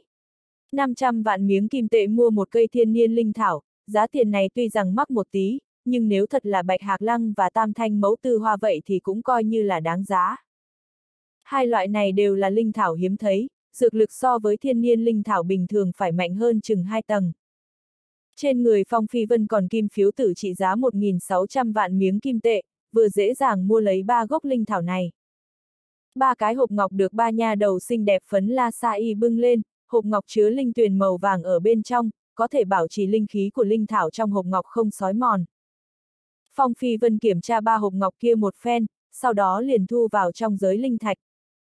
Thiên nhiên linh thảo thật sự là đắt đến không hợp thói thường, một cây thiên nhiên linh thảo cũng có thể mua vài môn phái tu tiên cỡ nhỏ rồi. Tuy rằng hao tốn 1.500 vạn miếng kim tệ, nhưng Phong Phi Vân lại cảm thấy đáng giá, có ba gốc thiên niên linh thảo này rồi, có thể trong thời gian ngắn lần nữa mở ra 30 tòa mệnh huyệt, tu vị lại có thể mãnh liệt tăng lên một mảng lớn. Thánh hồ đại chiến sắp tới, đệ tử tinh anh vạn tượng tháp và tất cả điện hạ của tà tông sẽ lần nữa quyết đấu đỉnh phong, trước đó, tu vị có thể tăng lên càng cao càng tốt. Chỗ ta còn một tin tức, có lẽ thiên phu đại nhân sẽ cảm thấy rất hứng thú. Đông phương nhất dạ đếm lại kim phiếu tử trong tay, sau khi xác nhận không sai mới thu vào trong tay áo, một đạo ánh sáng màu xanh hiện lên, liền từ trong tay áo biến mất không thấy gì nữa. Tin tức gì? Phong Phi Vân nói. Tin tức này được mua 100 vạn kim tệ. Đông Phương Nhất Dạ dừng một chút, vừa cười nói. Ta dám cam đoan, tin tức này hoàn toàn xứng với cái giá kia. Phong Phi Vân kinh ngạc nhìn chằm chằm vào người trung niên trước mặt, tên này sẽ không biết trên người ta tổng cộng có bao nhiêu kim phiếu tử đấy chứ. Vốn chỉ có ba gốc linh thảo, giá trị vừa vặn 1.500 vạn kim tệ. Hiện giờ lại là một tin tức, giá trị 100 vạn kim tệ. Quả thực là đã sắp ép khô tiền trên người Phong Phi Vân, hơn nữa còn ép khô vừa đúng nữa chứ. Thiên hạ nào có chuyện trùng hợp như vậy? Phong Phi Vân nhìn chằm chằm hắn thật lâu, cuối cùng vẫn cắn răng, lấy ra một sấp kim phiếu tử cuối cùng giao vào tay hắn. Đông Phương Nhất Giả cười tủm tỉm nhận lấy trăm vạn kim phiếu, vội vàng thu vào, lúc này mới gì gì nói. La Phù công chúa đang tìm kiếm cường giả vô địch trong thần cơ đại viên mãn, để chuẩn bị cho thánh bi lưu danh không lâu về sau. Phàm là người bị nàng nhìn chúng đều sẽ được ban thưởng năm gốc linh thảo, trong thiên hạ cũng chỉ có La Phù công chúa mới có thủ bút như vậy. Năm gốc linh thảo, La Phù công chúa đang ở nơi nào? Phong Phi Vân quả thật động tâm, năm gốc linh thảo đã có thể khiến cho bất kỳ một tu sĩ cảnh giới thần cơ đại viên mãn nào cũng phải điên cuồng rồi. Đừng nói năm gốc linh thảo, coi như là một gốc linh thảo cũng cực kỳ khó được. Thiên hoa cổ thành Bắc Giao, thiên mai trang viên. Theo ta được biết, đêm nay nghịch thiên tài tuấn của tà tông và truyền nhân mấy cái thi động ở Bắc Cương đều sẽ đến. Đệ tử vạn tượng tháp cũng đều tiến đến không ít, nhưng kết quả có thể đoán trước, nhất định sẽ bị nghịch thiên tài tuấn tà tông chấn áp, năm gốc linh thảo kia không phải rơi vào trong tay tà tông thì cũng là truyền nhân thi động. La Phù công chúa cho dù trong lòng bất mãn, cũng không thể nuốt lời, chỉ có thể đưa ra năm gốc linh thảo. Ai, xem ra vạn tượng tháp thật sự suy sụp rồi. Bạch Hạc Lăng và Tam Thanh Mẫu Tư Hoa đều là linh thảo, được tinh khí đại địa thai ngén thiên nhiên tuế nguyệt, ngưng tụ quá nhiều linh lực và dược tính. Cái gọi là linh thảo, chính là tinh hoa của đại địa tự nhiên, năm sinh trưởng càng lâu, tinh hoa ngưng tụ lại càng thuần túy. Phong Phi Vân luyện hóa ba gốc linh thảo, trong lòng bàn tay, chỉ còn một rúm bột phấn, đầu, ngực, hai chân, hai tay, đều có vầng sáng màu vàng lao ra, lại có 30 tòa mệnh huyệt được mở ra, như 30 tòa thần kiều màu vàng, kết nối với thiên địa. Đến tận đây, Phong Phi Vân tổng cộng mở ra 64 tòa mệnh huyệt, thần cơ trong đan điền càng ngày càng ngưng thực, linh khí trong thân thể tuôn ra, kinh mạch tựu như một mảnh linh hà dài hẹp. Tu vị lại tăng lên một mảng lớn, mà ngay cả huyết khí cũng trở nên càng thêm tràn đầy, giơ tay nhấc chân, không khí đều sẽ phát ra động tĩnh đùng đùng không dứt. Vậy mà lực lượng tăng lên gần 3 phần, thần cơ đại viên mãn, một cái tiểu cảnh giới, lực lượng chính là chênh lệch mấy lần. Nếu là có thể có được năm gốc linh thảo kia, ta liền có thể mở ra 114 tòa mệnh huyệt, đến lúc đó cho dù là tu sĩ thiên mệnh đệ nhất trọng cũng có lực đánh một trận. Phong Phi Vân tu luyện ra 40 đạo thần thức, tuy rằng vẫn là cảnh giới thần cơ đại viên mãn, nhưng chiến lực lại hơn xa tu sĩ cùng cảnh giới. Trong cùng cảnh giới, coi như là thiên tài cấp bậc sử thi, cũng chưa hẳn là đối thủ của hắn. Sắc trời càng ngày càng lờ mờ, màn đêm rốt cục buông xuống. Ở Bắc Giao tòa cổ thành này, có một tòa mai viên, đã có 300 năm lịch sử, từng là chỗ ở của thành chủ thiên hoa cổ thành, La Phù công chúa đã đến thiên hoa cổ thành, thành chủ đại nhân liền chủ động dâng ra tòa mai viên này, trở thành chỗ tạm cư của La Phù công chúa. Tuyết trắng bay đầy trời, hương hoa mai xông vào mũi. Tiết giá lạnh, bách hoa tàn lụi, chỉ có hoa mai ngạo, hoa hồng như máu người, hương hoa truyền ngàn dặm. Nhưng hoa mai tuy đẹp nhưng lại không đẹp bằng một ngón tay của La Phù công chúa, hoa mai có thơm cũng không thơm bằng một sợi tóc của La Phù công chúa. La Phù công chúa dã tâm thật lớn, rất giống nữ đế Long Khương Linh lúc tuổi còn trẻ, nàng đây là muốn lại đi đường nữ đế, trước tiên lưu danh trên thánh bi, sau đó phế thái tử, cuối cùng đoạt đế vị. Con trai trưởng hổ thiên hầu và tam vương tử màu vàng đứng ở bên ngoài thiên mai trang viên, hai người đều là hùng chủ một đời tuổi trẻ top 50 trên bách tháp bảng, tư chất nghịch thiên, địa vị cao thượng. Bọn hắn đều mặc nho bào màu trắng, đứng trên mặt tuyết, chung quanh thân thể linh khí vần quanh, trên đỉnh đầu có khí tượng vô hình chiếm giữ. Nếu không phải Thái tử Đương Triều Long Thần Nhai là một trong bát đại thiên tài cấp bậc sử thi thì nói không chừng ta cũng đã đứng ở trận doanh của La Phù Công Chúa rồi, dù sao La Phù Công Chúa đã ngưng tụ Hoàng Long chi khí, hơn nữa đã nhận được hậu lệnh thần phi truyền thừa. Trên vai con trai trưởng hổ thiên hầu mang theo một tầng hổ giáp màu vàng, khiến hắn thêm thêm vài phần uy nghiêm. Đây là đế vị chi tranh, chúng ta vẫn không nên nhiều lời thì tốt hơn. Tam vương tử đại thực quốc thấp giọng nói. Hai người tuy rằng đều thân phận tôn quý, sau lưng có thế lực lớn làm chỗ dựa, nhưng năm gốc thiên niên linh thảo, đối với bọn họ mà nói vẫn không phải chuyện đùa. Bình thường bọn hắn có thể xuất ra một gốc linh thảo cũng là việc khó, cũng chỉ có La Phù công chúa mới có được thủ bút như vậy. Hai người cũng là vì năm gốc linh thảo này mà đến, không hề đàm luận, trực tiếp đi thẳng vào thiên mai trang viên. Phốc! Một mảnh huyết dịch vẩy ra, nhuộm đại môn màu son của thiên mai trang viên càng thêm tươi đẹp, một đệ tử mặc nho bào trắng kêu thảm một tiếng, ngã xuống trong vũng máu, chăm chú bụng lấy bả vai phải, giữa ngón tay tràn đầy huyết dịch. Một cánh tay của hắn cũng bị ném bay, rơi vào trên thềm đá. Lá gan tà tông các ngươi thực quá lớn, nhục đệ tử vạn tượng tháp ta, quá đáng. Triệu Điền lạnh giọng nói, hung hăng chầm chầm vào thân mặc hắc bào đệ tử tà tông, không có chút nào khuất phục chi sắc. Triệu Điền cũng là cảnh giới thần cơ đại viên mãn, đệ tử võ tháp, vốn đến thiên mai trang viên để tham gia thịnh hội lần này. Nhưng ở bên ngoài thiên mai trang viên lại gặp phải đệ tử tà tông, những đệ tử tà tông này thập phần hung hăng càn quấy, vậy mà ngang nhiên dùng khóa sắt trói bốn nữ đệ tử của vạn tượng tháp lại, bị bọn hắn sử dụng giống như nữ nô vậy. Bọn hắn đây nào phải đến tham gia thịnh hội của La Phù công chúa. Quả thực là đến nhục nhã học viên vạn tượng tháp mà. Triệu Điền đã sớm nghe nói đệ tử tà tông thường xuyên bắt nữ đệ tử vạn tượng tháp tùy ý trà đạp, rót dâm dược, tù nữ nô, chuyện ác gì cũng có thể làm ra. Vốn hắn còn không tin, nhưng hôm nay tận mắt thấy, trong lòng lập tức lửa giận cao ba trượng, lập tức liền muốn ra tay chém giết đám cuồng nhân tà tông này. Người khác không dám đắc tội tà tông, triệu điền hắn dám, chỉ cần có thể xả được ngụm ác khí trong lòng này, dù có chết thì đã sao. Nhưng đệ tử tà tông lại cường đại hơn hắn nghĩ, chín đạo võ pháp hắn đánh ra bị người một đao phá vỡ, còn bị chém bay tay, ngã xuống nơi cửa ra vào của thiên mai trang viên. Cạc cạc, tiểu tử, chúng ta hung hăng càn quấy đấy thì đã sao dấu lớn. Một tên đệ tử tà tông hai tay như màu kim loại đi tới trước mặt triệu điền, chân mang giày da kỳ nghiêu, lân phiến như sắt, một cước dẫm nát tay đứt của triệu điền, hóa thành một đoàn bùn máu. Tổng cộng chừng 8 tên đệ tử tà tông, đều là cảnh giới thần cơ đại viên mãn, mặc áo choàng màu đen, tóc dài xóa xuống, tựa như tám tôn địa ngục tà ma. Tên đệ tử tà tông đã luyện hai tay đến giống như huyền thiết kia chỉ là một trong số đó, vừa rồi chính là hắn đã một đao phá vỡ chín đạo võ pháp của Triệu Điền, cũng chém bay cánh tay hắn xuống. Hắn còn không phải là người mạnh nhất trong tám gã đệ tử tà tông nữa. Một nữ tử trẻ tuổi dung mạo xinh đẹp mặc nho bào màu trắng kia da thịt như tuyết, nhỏ tuổi nhất chừng 15, lớn nhất cũng chỉ 20, đều tư sắc hơn người, chẳng qua hiện giờ đã biến thành tù nhân, hai tay và hai chân đều bị đóng dấu.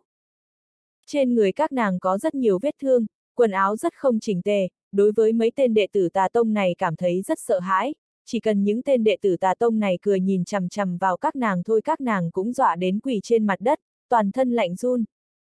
Cũng không biết các nàng đã trải qua tao ngộ đáng sợ cỡ nào mới có thể bị dọa đến yếu ớt như vậy, nào còn giống thiên tài tu tiên chứ, hôm nay quả thực ngay cả nữ bộc bình thường cũng không bằng. Vạn tượng tháp đã suy sụp, cái gọi là tinh anh đệ tử cũng trở thành con mồi của tà tông chúng ta, cái gọi là nghiêng thế mỹ nhân, cũng chỉ là công cụ cho đệ tử tà tông chúng ta tiết dục tập thể. Một tên đệ tử tà tông nhe răng cười, đi đến bên người một nữ tử ngự thú tháp chỉ có 17 tuổi, thân thể mềm mại của nữ tử thanh thuần tĩnh nhã lập tức lạnh run, trong mắt tràn đầy sợ hãi, lập tức quỳ trên mặt đất. Đã thấy vị thiên tài Mỹ nữ ngự thú tháp này chưa, nàng ít nhất đã ngủ với 40 đệ tử tà tông, dâm dược đã bị cho ăn sợ là không dưới 3 cân, hắc hắc. Vị này đệ tử tà tông này hung hăng bóp một cái lên ngực nàng. Thiên tài Mỹ nữ ngự thú kia vẫn không nhúc nhích, mặc hắn dưới ban ngày ban mặt trà đạp, mặt mũi tràn đầy nước mắt, ướt đẫm vạt áo. Cầm thú, ta liều mạng với các ngươi. Triệu Điền xoay người từ mặt đất bò lên, trong thân thể lao ra ba đầu dị thú chiến hồn, một trưởng đánh ra lực lượng bảy đầu kỳ nghiêu, nhưng lực lượng bảy đầu kỳ nghiêu và ba đầu dị thú chiến hồn liền bị một cánh tay như kim loại dễ dàng bóp nát. Phốc! Bàn tay kim loại kia trực tiếp xuyên thủng thân thể triệu đìa, huyết vụ vung đầy đất. Nhưng cánh tay kia lại kẹt lại trong thân thể triệu đìa, vị đệ tử tà tông kia biến sắc, triệu điền thật sự quá điên cuồng, trực tiếp dùng đầu của mình, đập tới ngực tên đệ tử tà tông kia. Bành! Một mảnh hắc mang từ giữa thân thể hai người đáng ra, đệ tử tà tông bạo lui, xương sườn nơi ngực đứt gãy hai cây. Triệu Điền lại bay ngược ra ngoài, đâm vào trên vách tường, đầu cũng muốn vỡ vụn, nhưng lại không chút huệ oải, ngược lại còn điên cuồng cười to, thoải mái nói không nên lời. Muốn chết! Vị đệ tử tà tông kia sẳng giọng quát lên, trên cánh tay điện mang xuyên thẳng qua, ngưng tụ ra lực lượng tám đầu kỳ nghiêu, lực lượng tám đầu kỳ nghiêu chính là 128.000 cân, đây quả thực là muốn đánh triệu điền thành cặn bã mà. Oanh! Một mảnh ánh đao, từ đằng xa bay tới. Đao quang quả kia quả thật còn sáng hơn cả hào quang mặt trời, ẩn chứa một cổ sát huy kinh khủng, một đao bay ra, mặt đất cũng nứt ra một đạo đường vân. Phốc! Gã đệ tử tà tông kia tự nhiên cảm nhận được sát huy sau lưng, liền cưỡng ép nghịch chuyển tám nghiêu chi lực trên tay đánh về phía sau lưng, nhưng tám nghiêu bị chém vỡ, ánh đao chém bay một cánh tay hắn. Một đạo huyết tuyền từ đầu vai của hắn lao ra, tung tóe ra xa ba trượng. Hắc y trên người hắn cũng nhiễm lên từng mảnh vết máu, tựa như hoa mai đêm tối vậy. Bành! Tay đứt rơi vào giữa đường, bị một thần võ quân thiên phu trưởng mặc thiết khải dẫm nát, biến thành bùn máu, sau đó bị đầu kỳ nghiêu đi đằng sau hắn nuốt vào trong bụng. Trên vai tên thần võ quân thiên phu trưởng này còn khiêng một thanh chiến đao, hiển nhiên một đao vừa rồi là do hắn bổ ra. Triệu Điền vốn cho là mình chết chắc rồi, nhưng không ngờ nửa đường giết ra một quân gia, đao pháp quả thực cường hoành đến không hợp thói thường, một đạo đao khí cũng có thể lôi ra dài hơn 10 thước. Thần võ quân quả nhiên cường đại, một thiên phu trưởng, thậm chí có tu vị chặt đứt cánh tay của tu sĩ cảnh giới thần cơ đại viên mãn. Ban ngày ban mặt, ban ngày ban mặt, vậy mà dám ở trước mực thần võ quân thiên phu làm ra chuyện coi trời bằng vung bực này, các người phải bị tội gì đây? Vị thiên phu thần võ quân kia rất là bá đạo, đi đường tư thế chữ bát, nâng cao lồng ngực, nắm kỳ nghiêu, từng bước một đi tới. Hừ, một tên thần võ quân thiên phu nho nhỏ vậy mà cũng dám quản chuyện tà tông chúng ta, ngươi là ngại mạng quá dài sao? Coi như là nhân vật ca ó thần tướng thần võ quân, đắc tội tà tông chúng ta thì cũng chỉ còn đường chết. Vị thần võ quân thiên phu này lập tức phát hỏa, một cước giẫm trên mặt đất, giẫm vụn một khối đá xanh cổ xưa, thô lấy giọng, hét lớn. Dám uy hiếp lão tử, ngươi là người của điện nào thuộc tà tông ha? Xâm la điện đệ thất điện. Đệ tử tà tông cùng kêu lên lạnh lùng, trên người sát khí ngưng tụ, ở trên không kết thành một mảnh mây đen, tương đối dọa người. Bọn hắn cho rằng danh tự xâm la điện đệ thất điện có thể dọa cho tên thần võ quân thiên phu này phải quỳ trên mặt đất. Nhưng mà, tốt, các ngươi không chỉ có giết người, lại còn nhốt nữ nhân, quả thực không có vương pháp rồi. Không có vương pháp rồi. Nữ nhân đẹp nhất xâm la điện đệ thất điện các ngươi là ai? Vị thần võ quân thiên phu kia giận dữ, thanh âm cường tráng đến giống như sấm công. Mấy tên đệ tử tà tông đều sững sờ, dừng một chút, có người nói. Đệ nhất Mỹ nhân sâm la điện đệ thất điện chúng ta tự nhiên là đệ thất điện điện hạ vạn hương sầm. Vậy các ngươi trở về nói cho đệ thất điện điện hạ các ngươi biết. Tà tông các ngươi thích chơi nữ nhân vạn tượng tháp, lão tử lại thích chơi nữ nhân tà tông, bảo vạn hương sầm rửa sạch sẽ thân thể, trong vòng ba tháng không thể lấy trinh nàng, con mẹ nó, phong đại nghiêu ta cùng họ với nàng. Vị thần võ quân thiên phu trưởng kia tính tình như châu, giống chút nào giống nói giỡn, thanh âm lớn đến truyền khắp cả nửa thiên hoa cổ thành. Quá kiêu ngạo rồi, quả thực quá kiêu ngạo rồi. Thần võ quân, chính là chiến lực cường đại nhất thần tấn vương triều, đây là điều mà tất cả mọi người đều công nhận. Nhưng một tên thiên phu trưởng của thần võ quân lại cuồng ngạo như vậy, vậy mà công bố muốn chơi điện hạ xâm la điện đệ thất điện vạn hương sầm, cái này bảo đệ tử tà tông ở chàng làm sao mà chịu nổi chứ. Tám tên nam tử thân mặc hắc bào này đều là tuổi trẻ tài tuấn cao cấp nhất xâm la đệ thất điện, nhưng mặc dù là bọn hắn, ở trước mặt vạn hương sầm quả thật ngay cả heo chó cũng không bằng. Trong tà tông, tàn khốc đến cực điểm, chế độ đẳng cấp càng thêm xâm nghiêm, càng thêm mạnh được yếu thua. Cao cấp nhất chính là thần, thấp một cấp, là cầu. Thật sự là nói khoác không biết ngượng, quả thực là muốn chết. Tên đệ tử tà tông bị chém đứt cánh tay kia miệng vết thương đã bị linh khí phong bế, bao lấy một tầng hào quang tinh hồng sắc dày đặc. Hắn đối với tu vi của mình thập phần tự tin, vừa rồi chỉ là bị đánh lén, bị đánh không kịp đề phòng cho nên mới bị chém đứt một cánh tay như thế. Nếu là giao thủ chính thức, mình sao có thể bại bởi một tên thần võ thiên phu chứ? Thật sự là chê cười. Cái gọi là thần võ thiên phu, chính là quản lý một ngàn thần võ quân, thần võ quân đâu chỉ 100 triệu, một tên thiên phu trưởng quả thực chính là cặn bã, thông tục chút chính là rau cải trắng, vừa nắm đã được một bó to. Thua ở trong tay một tên rau cải trắng, thân là nghịch thiên tài tuấn tà tông, sao có thể chịu phục được. Oanh! Một cổ sát ý từ trong không khí ngưng tụ lại, thiên địa linh khí trở nên sắc bén, một đầu kim điểu đậu trên đỉnh cây bị một đạo sát khí im ắng phân thành hai nửa, rơi xuống trên mặt đất.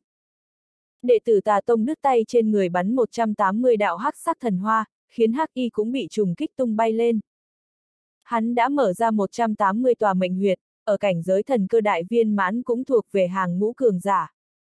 Mẫu điện ma la. Hắn chỉ còn một cánh tay trái, bàn tay như làm bằng thần thiết, trên đó có bảy đạo dòng điện, hình dạng như chát long, mọi người còn đứng ở đàng xa, nhưng cánh tay tràn đầy điện mang của hắn cũng đã bổ nhào tới trước người Phong Phi Vân. Phốc! Chiến đao nhoáng một cái, một mảnh ánh đao bay qua. Một cái tay đứt liền văng lên trên bầu trời, còn có điện mang đan vào ở phía trên, chỗ đứt gãy chảy ra một đạo máu tươi. Đao của ngươi! Hai tay tên đệ tử tà tông kia đều bị phế đi, hơn nữa cũng không biết là bị chém xuống thế nào nữa. Đao của ta rất nhanh. Vị này thần võ quân thiên phu trưởng kia vươn tay phủi phủi chiến đao trong tay, đánh ra thanh âm bành, bành giống như một thô hán bán dao phay bên đường vậy. Nhưng một tên thô lỗ như vậy lại chém xuống hai tay một vị nghịch thiên tài tuấn tà tông. Hắn trở tay một đao, một đạo đao khí liền chém tên đệ tử tà tông đã đứt hai tay đứng cách đó hơn 10 trượng thành hai khúc, thân thể hóa thành hai mảnh, tả hữu bay ra. Hắn chỉ nhẹ nhàng bâng quơ bổ ra một đao như vậy, nhưng vị đệ tử tà tông kia lại không thể trốn thoát. Xâm la điện đệ thất điện chó má gì chứ, tu vị cũng quá kém, tà tông những năm này xem ra đã xuống dốc rồi. Vị thần võ quân thiên phu trưởng kia thở dài thở ngắn, quả thực vô cùng làm dáng, mấy vị đệ tử tà tông thấy thế đều nghiến răng nghiến lợi. Liên thủ tiêu diệt hắn. Bảy tên đệ tử tà tông cùng kêu lên, trong thân thể mệnh huyệt nổ bắn ra, linh quang tràn ngập, khiến linh khí chung quanh đều bị trùng kích đến hỗn loạn. Bảy người này đều là cảnh giới thần cơ đại viên mãn, tu vị thấp nhất cũng mở ra 60 tòa mệnh huyệt, tu vị cao nhất càng mở ra 280 tòa mệnh huyệt. Tên đệ tử tà tông mở ra 280 tòa mệnh huyệt kia cường đại đến không hợp thói thường, trong tay tế ra một khối thần ma, đây đã là nửa kiện linh khí, có thể phát huy ra một tầng chiến uy của linh khí. Mặc dù chỉ có một tầng uy lực linh khí, nhưng cũng đã cực kỳ đáng sợ, có thể cách mấy trăm dặm giết người. Bảy người đồng thời bay lên, tất cả mọi người đều đánh linh khí vào trong khối thần ma kia, một kích lay trời, khiến cả cổ phố đều tan hoang, phòng ốc hai bên đường bị chấn sụp một mảnh lớn. Mẹ nó, lão tử phải đánh bảy tên. Thần võ quân thiên phu trưởng hét lớn một tiếng, trong miệng có lôi khiếu, chấn thiên động địa. Hắn uy phong lẫm lẫm đứng ở giữa đường, áo giáp màu đen chiếu ra lãnh quang, chiến đao trong tay vọt lên linh mang cao 10 mét, hai tay cầm đao, mãnh liệt chém ra một đao, một đạo đao lãng hình bán nguyệt đánh lên khôi thần ma kia. Linh khí chiến uy đầy trời bị đao lãng xuyên thấu, dễ dàng giống như phá vỡ màn nước vậy. Oanh! Thần ma cực lớn bị đánh bay ra ngoài, bảy tên đệ tử tà tông kia đồng thời thổ huyết, thật giống như diều đứt dây, từ giữa không trung té rớt trên mặt đất. Quá dữ dội rồi, một đao đánh bay bảy tên thần cơ đại viên mãn, toàn bộ trọng thương. Triệu Điền sợ tới mức trợn mắt há hốc mồm, vừa mừng vừa sợ, vị thần võ thiên phu đại nhân này thật sự giống như thần binh giáng trần, chiến lực biêu hãn, ghét ác như cừu, giết cho đám nghịch thiên tài tuấn tả tông kia thất linh bát lạc. Bành! Vị thần võ thiên phu đại nhân kia mặc giày sắt, một cước giẫm nát lồng ngực một tên đệ tử tà tông, kéo theo huyền thiết chiến đao đen kịt, từ trên cao nhìn xuống, chỉ vào cổ hắn, quát. Hô theo ta, xâm la điện chính là chó má. Thanh âm cao ngất, thiếu chút nữa đã chấn cho hắn ngất đi. Lưỡi đao băng hàn, đao khí phun ra nuốt vào, chăm chú chỉ vào cổ tên đệ tử tà tông kia. Đây là một cổ hàn khí khiến yết hầu người như muốn đông lại vậy. Tên thần võ thiên phu trưởng này quả thực giết người như điên, hơn nữa tánh khí táo bạo, vừa rồi tên đệ tử tà tông kia bị chém thành hai nửa, nội tạng lưu đầy đất, chàng diện kia vẫn còn rõ mồn một trước mắt. Đệ tử tà tông tuy rằng lãnh ngạo, hơn nữa trải qua tôi luyện sinh tử, nhưng bị tên thần võ thiên phu trưởng này chừng lấy, trực tiếp khiến 10 đạo thần thức trong đầu hắn bị phai mở chín đạo. Ý chí lực không sợ sinh tử cũng hỏng mất. Đừng giết ta, ta hô, xâm la điện chính là chó má. Tên đệ tử tà tông kia bị 40 đạo thần thức áp chế, tinh thần cũng thiếu chút nữa hỏng mất. Thanh âm lớn thêm chút nữa. Thần võ thiên phu trưởng hét lớn. Xâm la điện chính là chó má. Hắc hắc. Thần võ thiên phu trưởng giọng mỉa mai cười, lại nói. Tiếp tục hô, điện hạ xâm la điện đệ thất điện vạn hương sầm, là tình phụ của phong đại nghiêu. Cái này, đệ hạ xâm la điện đệ thất điện vạn hương sầm, là tình phụ của phong đại nghiêu. Tên đệ tử tà tông kia cũng sắp khóc lên rồi. Giống như không đúng lắm a hát. Phong đại nghiêu ta phong lưu phóng khoáng, tiêu giao tung hoành thiên hạ, đang lúc tuổi trẻ hăng hái, nếu không làm ra một phen đại sự kinh thiên động địa, chẳng phải thực xin lỗi cổ thân thể vô địch thế gian này của ta sao? Tên thần võ quân thiên phu trưởng kia lầm bầm lầu bầu nói, lại giống như là đang hỏi tên đệ tử tà tông nằm trên mặt đất vậy. Ách, vậy người muốn làm đại sự kinh thiên động địa gì? Tên đệ tử tà tông kia khiếp nhược nói. Ta muốn bắt tất cả nữ nhân xinh đẹp nhất của mỗi một điện xâm la điện về, nhốt vào tù giam, làm tình phụ của phong đại nghiêu ta, xâm la điện tổng cộng có thập điện, như vậy cộng lại chính là thập đại mỹ nhân khuynh thành tuyệt đại rồi, phong đại nghiêu ta thật sự là diễm phúc sâu a. Vị thần võ quân thiên phu trưởng kia nghiêm nghị nói, rất là chăm chú. Tên đệ tử tà tông kia lập tức một chữ cũng không nói được, tên này là một tên điên, nữ tử đẹp nhất xâm la điện thập điện không một ai mà không phải là hạt độc tử, không một ai không phải là đỉnh tiêm cường giả. Có thể lên giường với bất kỳ người nào trong đó cũng là một chuyện rất giỏi rồi. Phải biết rằng trong tà tông, cạnh tranh cực kỳ tàn khốc, có đôi khi cạnh tranh giữa nữ nhân so với nam nhân càng thêm hung ác độc ác. Nữ nhân càng xinh đẹp, sẽ càng khiến người đố kỵ, chết cũng sẽ càng nhanh. Cho nên có thể trở thành nữ nhân đẹp nhất một điện, nhất định đều là nữ nhân có thủ đoạn và tu vị đều cực kỳ lợi hại mới có thể sống sót, cũng như bạch như tuyết của đệ tứ điện, điện hạ vạn hương sầm của đệ thất điện vậy. Vạn hương sầm có thể trở thành điện hạ đệ thất điện, đây nhất định là một nữ nhân thủ đoạn và tu vị hơn xa bạch như tuyết. Phong Phi Vân nói ra lời này, cũng chỉ là vì thấy nữ học viên vạn tượng tháp gặp phải tao ngộ bi thảm, trong lòng cực kỳ phẫn nộ với người tà tông nên mới nói ra ngoan thoại như thế thôi. Nếu hắn thật sự en bát hết nữ nhân xinh đẹp nhất xâm la điện thập điện, tuy rằng có thể hung hăng đả kích tà tông, giống như liên tục đánh 10 bà tai vào mặt người ta vậy. Thoải mái là sướng rồi, nhưng hắn muốn sống quả thật khó như lên trời. Tà tông nhất định sẽ không tiếc bất cứ giá nào giết hắn, thậm chí là một ít lão tổ tà tông cũng sẽ ra tay với hắn, dù sao không ai chịu nổi loại đả kích này cả. Dù sao hắn bây giờ là thần võ quân thiên phu trưởng phong đại nghiêu, tùy tiện hung hăng càn quấy như thế nào đều được, tùy tiện phóng ngoan thoại lung tung thế nào đều được, cho dù có chọc ra 10 vị điện hạ tà tông cũng không sao, cùng lắm thì thoát khỏi áo giáp, quay lại làm Phong Phi Vân thôi. Đương nhiên, nếu Phong Phi Vân biết rõ, chuyện hắn chơi bạch như tuyết thiên hạ đều đã biết, toàn bộ xâm la điện đệ tứ điện cũng đã coi hắn là tử địch tất sát, vậy thì hiện giờ hắn cũng đã không lạnh nhạt thế rồi. Phốc! Phong Phi Vân một đao chém bay đầu tên đệ tử tà tông hắn đang dẫm dưới chân, đá văng hắn ta ra ngoài như bóng ra. Đây tên đệ tử xâm la điện đệ thất điện thứ hai chết dưới đao của hắn. Sáu người khác, đều bị trọng thương, trong lòng đã có vài phần sợ hãi tên thần võ quân thiên phu trưởng này, từng bước một lui về phía sau. Ai mới vừa nói muốn lấy trinh vạn hương sầm thế. Một thanh âm mềm mại đáng yêu tới cực điểm từ trong gió truyền đến, truyền vào trong tai người, phàm là người nghe được thanh âm này toàn thân đều co rút một hồi, xương cốt cũng như tê dại vậy. Mà trước khi nghe được thanh âm này, một cổ mê điệp hương hoa cũng đã trước một bước tràn ngập nơi chóp mũi, loại mùi thơm này quả thực còn mê người hơn cả mùi thơm cơ thể của nữ tử. Chỉ một tia làn gió thơm, một thanh âm, cũng đã khiến người không thể tự chủ, trước mắt sinh ra tưởng tượng mê ly, như thấy được một yêu cơ tuyệt đại không mảnh vải che thân. Sáu tên đệ tử tà tông, nghe được thanh âm này, toàn bộ biến sắc, mãnh liệt quỳ trên mặt đất, áp sát đầu trên mặt đất, cùng kêu lên nói. Cung nghênh điện hạ, một đám phế vật, mặt mũi xâm la đệ thất điện đều bị các ngươi làm mất hết, biết rõ nên làm như thế nào rồi chứ. Thanh âm kia lại trở nên sẳng giọng bá đạo, khiến tóc gáy toàn thân người đều dựng đứng lên. Mùi thơm trong không khí cũng lập tức biến đổi, biến thành tuyết liên lãnh hương. Đây là mùi thơm cơ thể của nàng, theo tâm tình nàng biến hóa mà mùi thơm phát ra cũng bất đồng. Sáu tiếng kêu thảm trầm thấp đồng thời vang lên. Sáu tên đệ tử xâm la điện đệ thất điện này vậy mà đều chém xuống một ngón tay của mình, bàn tay biến thành đỏ như máu.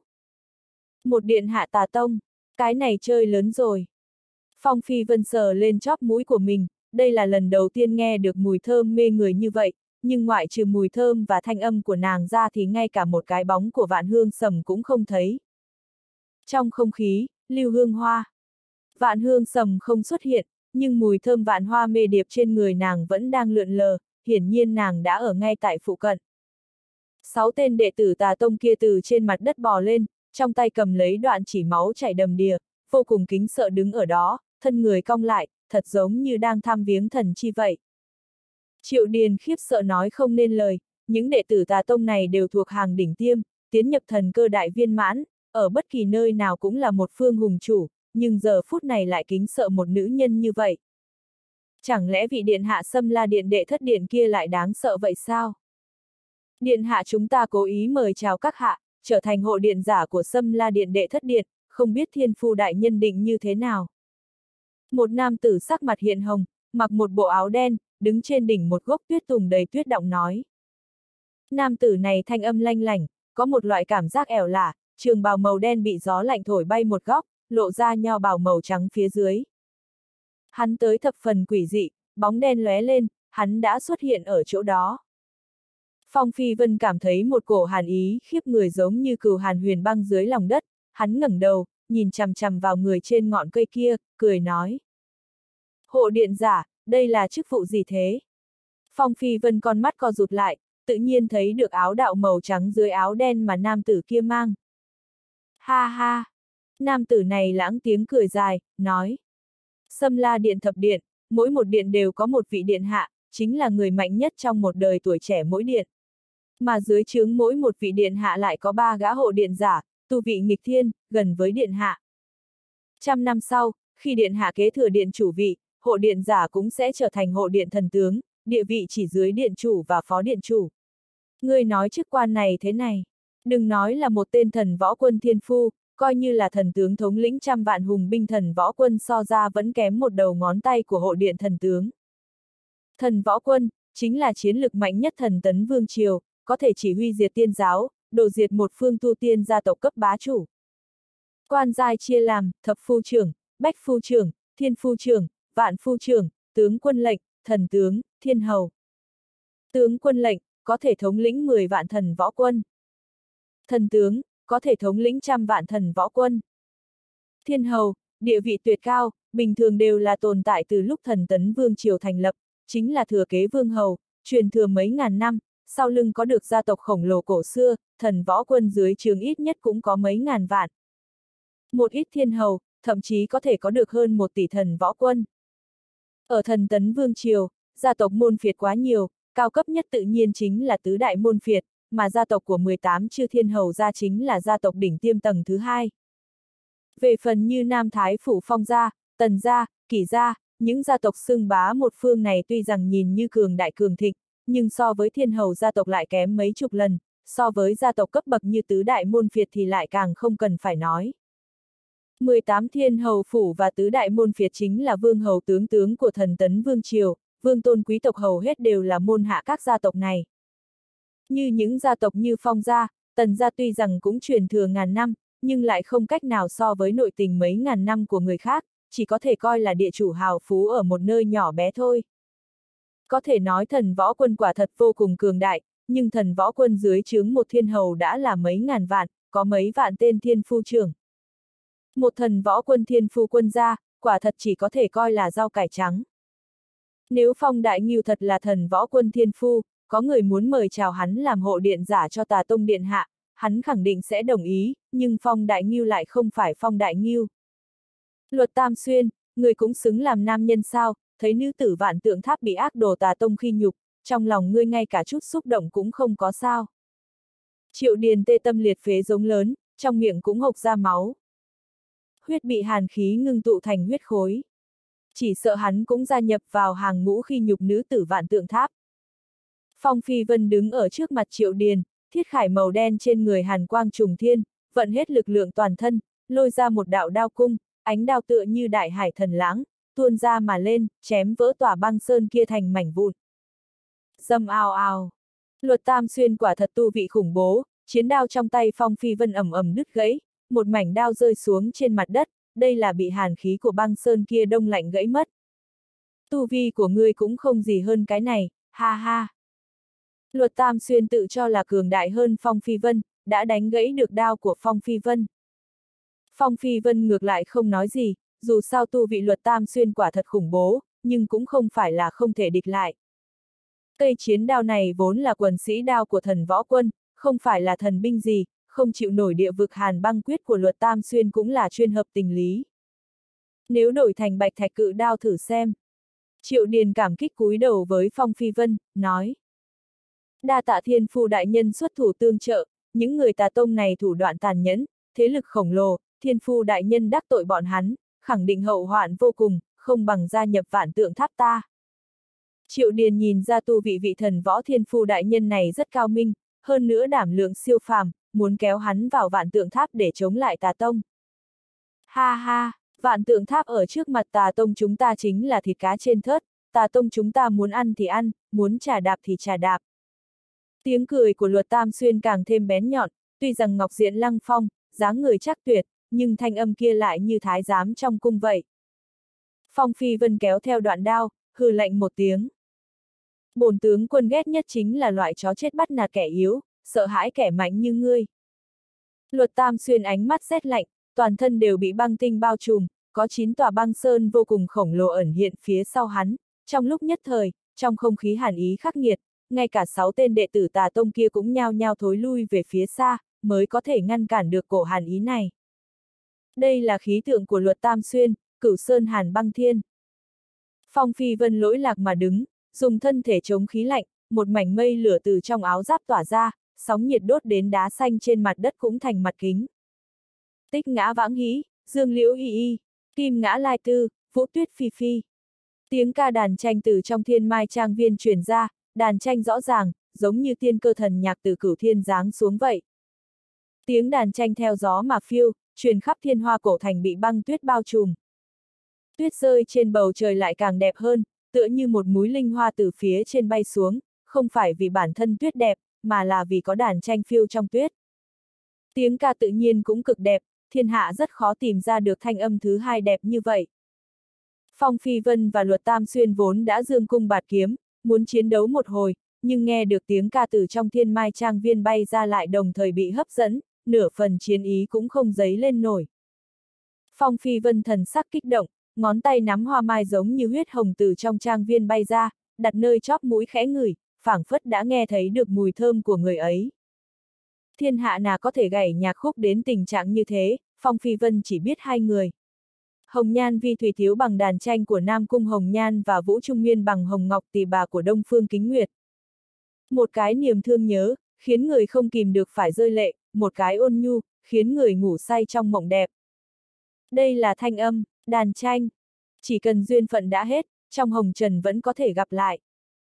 Là nàng, nhất định là nàng, nàng ở ngay trong thiên mai trang viên, nàng đây là đang vì ai đánh đàn, vì ai mà ca. Chúng ta đi. Một mảnh làn gió thơm từ trên không thổi qua, trong đó mơ hồ có thể chứng kiến một bóng người tuyệt đẹp bay vút, tiến nhập vào thiên mai trang viên, mà ngay cả triệu điền chứng kiến bóng người này cũng thất thần, nhưng Phong Phi Vân giờ phút này đối với nàng lại không có chút hứng thú, trong đầu của hắn đã bị người kia hoàn toàn chiếm giữ. Ở trước mặt người kia, nữ tử thiên đều chỉ là mây khói, không đáng giá nhắc tới. Sáu đệ tử Sâm La Đệ Thất Điện và Luật Tam Xuyên đều lần lượt tiến nhập thiên mai trang viên, đi theo. Bành, bành, bành, bành. Phong Phi Vân bổ liền bốn đao, thả bốn nữ đệ tử vạn tượng tháp bị khóa sắt trói lại kia giả, khóa sắt rơi trên mặt đất, bốn nữ tử Mỹ mạo động lòng người kia vẫn không nhúc nhích đứng ở nơi đó, thật giống như đã hóa đá vậy. Sau nửa ngày sau, trên mặt các nàng đều có tuyệt nhiên chi sắc, đây là một loại cảm giác sỉ nhục, cảm giác được thân thể của mình dơ bẩn, loại dơ bẩn đã đã hoàn toàn đánh sụp vinh dự và lãnh ngạo trước kia của các nàng. Đồng thời một trường đập về cái chán mình, không muốn lại mang theo sỉ nhục, sống ở trên đời này nữa. May mắn Phong Phi Vân sớm đã nhận ra ánh mắt của các nàng không ổn, ra tay chế trụ các nàng, dùng linh thuật phong bế hai tay các nàng. Đồ vật quý giá nhất của người chính là tánh mạng, tánh mạng chỉ có một, một khi chết rồi, cái gì cũng sẽ mất. Phong Phi Vân nói, nhã nhân đa tạ thiên phu đại nhân cứu chúng ta ra khổ hải, nhưng cầu thiên phu đại nhân, vô luận như thế nào cũng nên thành toàn chúng ta, để cho chúng ta chết mới có thể chấm dứt khuất nhục mà người tà tông gây ra cho chúng ta được. Nhã nhân nói xong liệt rơi lệ đầy mặt, trong mắt tràn đầy vẻ khẩn cầu, tao ngộ của các nàng đã khiến các nàng không muốn sống nữa. Tao ngộ bực nào mới có thể khiến cho tu tiên giả tâm trí cường đại lại không muốn sống nữa chứ? Tánh mạng rất yếu ớt đấy. Các nàng cuối cùng vẫn không qua được cửa ải kia trong lòng, tự tay kết thúc tánh mạng của mình. Một người muốn chết, không ai có thể ngăn được cả. Máu tươi chảy ra nhuộm hồng cả tuyết trên mặt đất, đỏ tươi chói mắt, không có mùi máu tươi, ngược lại mang theo một cổ hương nhàn nhạt, thể thủy lưu hương.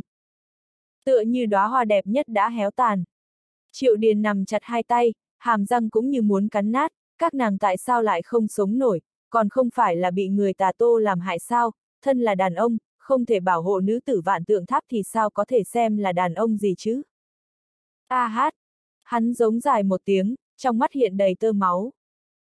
Mới vừa rồi còn là bốn nữ tử Mỹ mạo sống sờ sờ, nhưng qua trong giây lát đã ngã trên mặt đất, trở nên lạnh như băng, lúc chết đi, các nàng còn mang theo nụ cười được giải thoát. Người tên là gì? Phong Phi Vân hỏi. Đệ tử võ tháp, Triệu Điền.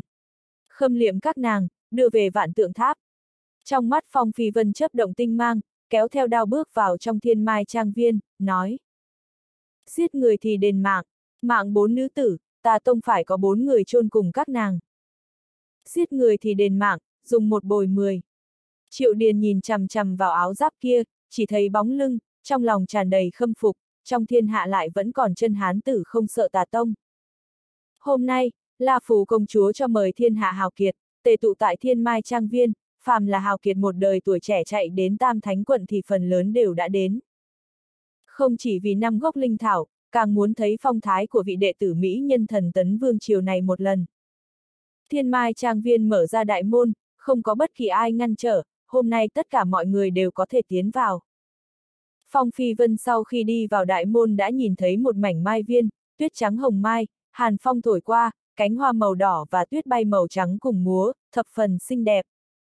Đi nửa canh giờ, mới xuyên qua phiến mai viên này, lại đi qua một mảnh hồ lớn, bay qua hai tòa núi lớn tràn đầy hoa mai, trước mắt xuất hiện một mảnh cung điện, tường đỏ ngói xanh, linh điểu sông Phi, sợ là có hơn 100 tòa lâu đài và cổ điện. Thiên Mai trang viên thập phần to lớn, đã từng là tư phủ của thành chủ, không thể dùng trang viên bình thường để cân nhắc được. Phong Phi Vân cố gắng khiến tầm tình phẫn nộ của mình bình tĩnh trở lại, nhàn nhã dạo chơi, một bên xem xét phong cảnh, một bên nghe đàn tranh vui vẻ mà đi, nhắm mắt say mê, thẳng đến khi đi vào trong một quần thế cung điện thì tiếng đàn tranh kia mới biến mất. ầm ầm, có linh thông thuật pháp đang va chạm trên bầu trời, rất xa có thể nghe được thanh âm đánh nhau. Đây vốn là một hồi thịnh hội long tranh hổ đấu, đã bắt đầu từ lâu rồi, chiến đấu cũng đã qua mấy chục tràng. Chậm rãi đi giữa cung điện, thanh âm chiến đấu kia càng ngày càng rõ ràng. Dọc theo con đường này gặp rất nhiều tu sĩ một đời tuổi trẻ, có thiên kiêu tà tông thân mặc hắc bào, có truyền nhân đạo môn mặc đạo bào, còn có tiểu ni cô áo trắng của ngự thú trai, thiên tài tuấn kiệt vạn tượng tháp cũng không ít. Nhưng những người này đều hừng hực mà qua, có ngự không phi hành, có giá hạc mà đến, có đứng trên lưng bạch cốt ngô công, không ai chú ý tới phong phi vân, bọn hắn đều có bối cảnh cường đại, chính là thiên tài vô địch đương thời. Một tên thần võ quân thiên phu trưởng cũng chẳng khác gì một lùm cỏ, thật sự không lọt vào nổi pháp nhãn của bọn hắn. Sốt cục đi qua mảnh cung điện này, trước mắt bỗng nhiên khoáng đạt, nơi này là ở trong thiên mai sơn trang, quả thực người ta tấp nập, một đời tuổi trẻ thế lực khắp nơi tề tụ, có thể chứng kiến rất nhiều tài tuấn danh chấn thiên hạ. La Phù công chúa an vị trong một tòa phong đình, hoàng bào tiên lữ y, tóc xanh như thác nước, trên mặt mang khăn che mặt màu vàng, có long hoàng chi khí lượn lờ trên người nàng, người bình thường liếc nhìn nàng một cái cũng nhìn không được phải quỳ dạp trên đờ. Ngọc Công Công mặc thanh cưu trường bào, mặt mỉm cười đang đứng ở ngay bên người La Phủ công chúa. Tám tên đại nội cao thủ, mặc cổ huyền thần khải, cũng như tám tôn vô địch chiến thần đứng ở đằng sau phong đình, xếp thành một hàng, trên người ẩn chứa vô thượng chiến uy. Căn bản không có người dám đến gần La Phù công chúa một bước, nhưng bên người La Phù công chúa lại ngồi một vị bạch y nữ tử, ôm một cây đàn tranh tử mộc, cũng mang mạng che mặt, trên người có một cổ tiên vận không linh. Tu sĩ ở đây thật sự quá nhiều, Phong Phi Vân đứng dưới một gốc mai cổ ở bên ngoài, cách nhau khá xa, chỉ có thể nhìn thấy một đám bóng người rung rung, muốn lách vào cũng không thể được.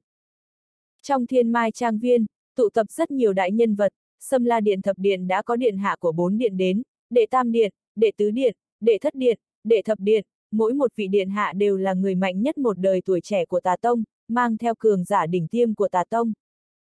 Tà tông mỗi một điện đều độc lập lẫn nhau, thế lực cực kỳ đáng sợ, chỉ là vì tà tông muốn liên thủ đối phó vạn tượng tháp, cho nên mới tạm thời liên hợp cùng một chỗ. Nhưng tà tông đã phân liệt hơn một ngàn năm, giữa lẫn nhau có đề phòng sâu đậm, thậm chí có một ít tà tông còn ở vào trạng thái đối địch, không có khả năng bền chắc như thép. Ngoại trừ tà tông, đạo môn, ngự thú trai, 18 thiên hầu phủ, tứ đại môn phiệt, những thế lực này đều có tài tuấn một đời tuổi trẻ và thiên kim tiểu thư tụ tập ở đây, bởi vậy có thể thấy được lực ảnh hưởng của La Phù công chúa trong một đời tuổi trẻ không phải lớn bình thường. Hôm nay La Phù công chúa mới là chủ nhân, người tà tông các người quả thực quá cuồng vọng, chẳng lẽ ngay cả mặt mũi công chúa cũng không cho sao? Tam vương tử đại thực quốc trác quý văn hét lớn một tiếng. Ha ha, người thắng làm vua, người thua làm giặc, tuyệt đỉnh cường giả vạn tượng tháp các ngươi sáu người liên tiếp bại lui, chỉ có thể nói. Vạn tượng tháp thật sự đã suy bại, không một ai có thể lên mặt bà Ni. Ai, sao có thể trách tà tông ta cuồng vọng được? Hồng ma phương lãng thanh cười cười, trên bàn tay nở rộ một mảnh mây lửa màu đỏ, trực tiếp đánh trọng thương một vị thiên kiêu vạn tượng tháp bài danh thứ 63 trên bách tháp bảng, đánh rơi trên mặt đất, thân thể cũng bị đốt trọi, run rẩy trên mặt đất. Hồng Ma Phương chính là tuyệt đỉnh nhân kiệt của Sâm La Điện đệ tứ điện, là một vị hộ điện giả, chính là đệ nhất cao thủ dưới chướng tiết trường thiếu, vô luận là tu vị, hay là tâm trí, đều ít người sánh bằng. Hôm nay là phù công chúa chính là vì tìm kiếm đệ nhất cường giả trong thần cơ đại viên mãn, tự nhiên là bao gồm tất cả tu sĩ thiên hạ, tà tông ta chiến pháp vô địch, vì sao không thể tham gia? Chẳng lẽ vạn tượng tháp các ngươi sợ sao? Cái gọi là nghịch thiên tài tuấn của vạn tượng tháp, muốn tìm tà tông ta báo thù, nhưng lại sáu chiến sáu bại, cái này chỉ có thể trách các ngươi quá kém cỏi thôi. La Phù công chúa chính là thiên kiệt vạn tượng tháp, độ lượng sẽ không nhỏ như vậy đâu, sao có thể không dung tà tông ta chứ? Tất cả đệ tử tà tông đều nở nụ cười, mang theo cười nhạo và xem thường, bọn hắn sớm đã biết rõ trong đệ tử vạn tượng tháp có rất nhiều người không phục, hôm nay muốn rửa sạch sỉ nhục lúc trước. Vì vậy thiên tài tà tông tứ điện ra hết, chính là muốn ở trước mặt bao người chấn áp những người không phục này, người không phục, vậy thì đánh cho người phục. Hơn nữa còn muốn từ trong tay La Phù công chúa trong tay lấy đi năm gốc linh thảo, khiến vị hoàng gia thiên nữ kiêu ngạo này cũng nếm thử sự lợi hại của tà tông. Ân oán giữa vạn tượng tháp và tà tông, ba tháng sau, bên bờ thánh hồ tự nhiên sẽ quyết một trận sống mái, ai là vương, ai là khấu, đến lúc đó, tự nhiên sẽ thấy rõ ràng. Hôm nay vô luận là ai, chỉ cần có thể ở cảnh giới thần cơ đại viên mãn xưng vương, vậy thì có thể lấy đi năm gốc linh thảo. La Phù công chúa rốt cục lên tiếng. Hồng Ma Phương đứng ở giữa sân, ánh mắt cố ý nhìn quét qua những đệ tử vạn tượng tháp kia, cười nói. Hôm nay xem ra chính là sân khấu để tà tông ta xưng bá, vạn tượng tháp quả thực không tìm ra ai có thể đánh một trận, ta mới dùng nằm phần lực lượng đã chân áp được 6 tên nghịch thiên tài tuấn vạn tượng tháp. Ta đến đánh với ngươi. Trác quý văn thật sự nghe không nổi nữa, nhỏ y màu trắng trên người phồng lên, vèo một tiếng, cũng đã bay đến trên đỉnh đầu hồng ma phương, một cái đại thủ ấn đè xuống.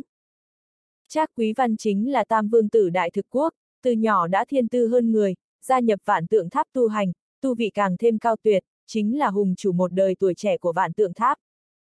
Đệ tử vạn tượng tháp cũng biết sự cường đại của Trác Quý Văn, cơ hồ chưa từng bị bại, có hắn ra tay, nhất định có thể đè ép khí diễm hung hăng càn quấy của tà tông xuống. Oanh! Hồng ma phương chân đạp một mảnh mây lửa, phóng lên trời, trên người triển khai khí tượng xích hà thiên hải, thân thể như là biến thành một mảnh thanh thiên, có từng mảnh mây lửa trôi nổi trên đỉnh đầu, tựa như lạc nhật xích hà, vừa giống như địa tâm hỏa hải. Trác quý văn nào ngờ hồng ma phương lại cường đại như vậy, thân có khí tượng, lệ khí khiếp nhân tâm, mới một phát tay, đã bị một đạo hỏa lãng đánh trúng, khiến đầu tóc bị đốt trọi một đám. La phù công chúa cau mày, nhẹ khẽ lắc đầu, giống như có lẽ đã thấy được kết quả. Quả nhiên cũng không lâu lắm, Trác Quý Văn liền bị hám thế lục diễm của Hồng Ma Phương đánh trúng, nửa người đều thiêu đốt lên, huyết nhục không ngừng chủ xuống.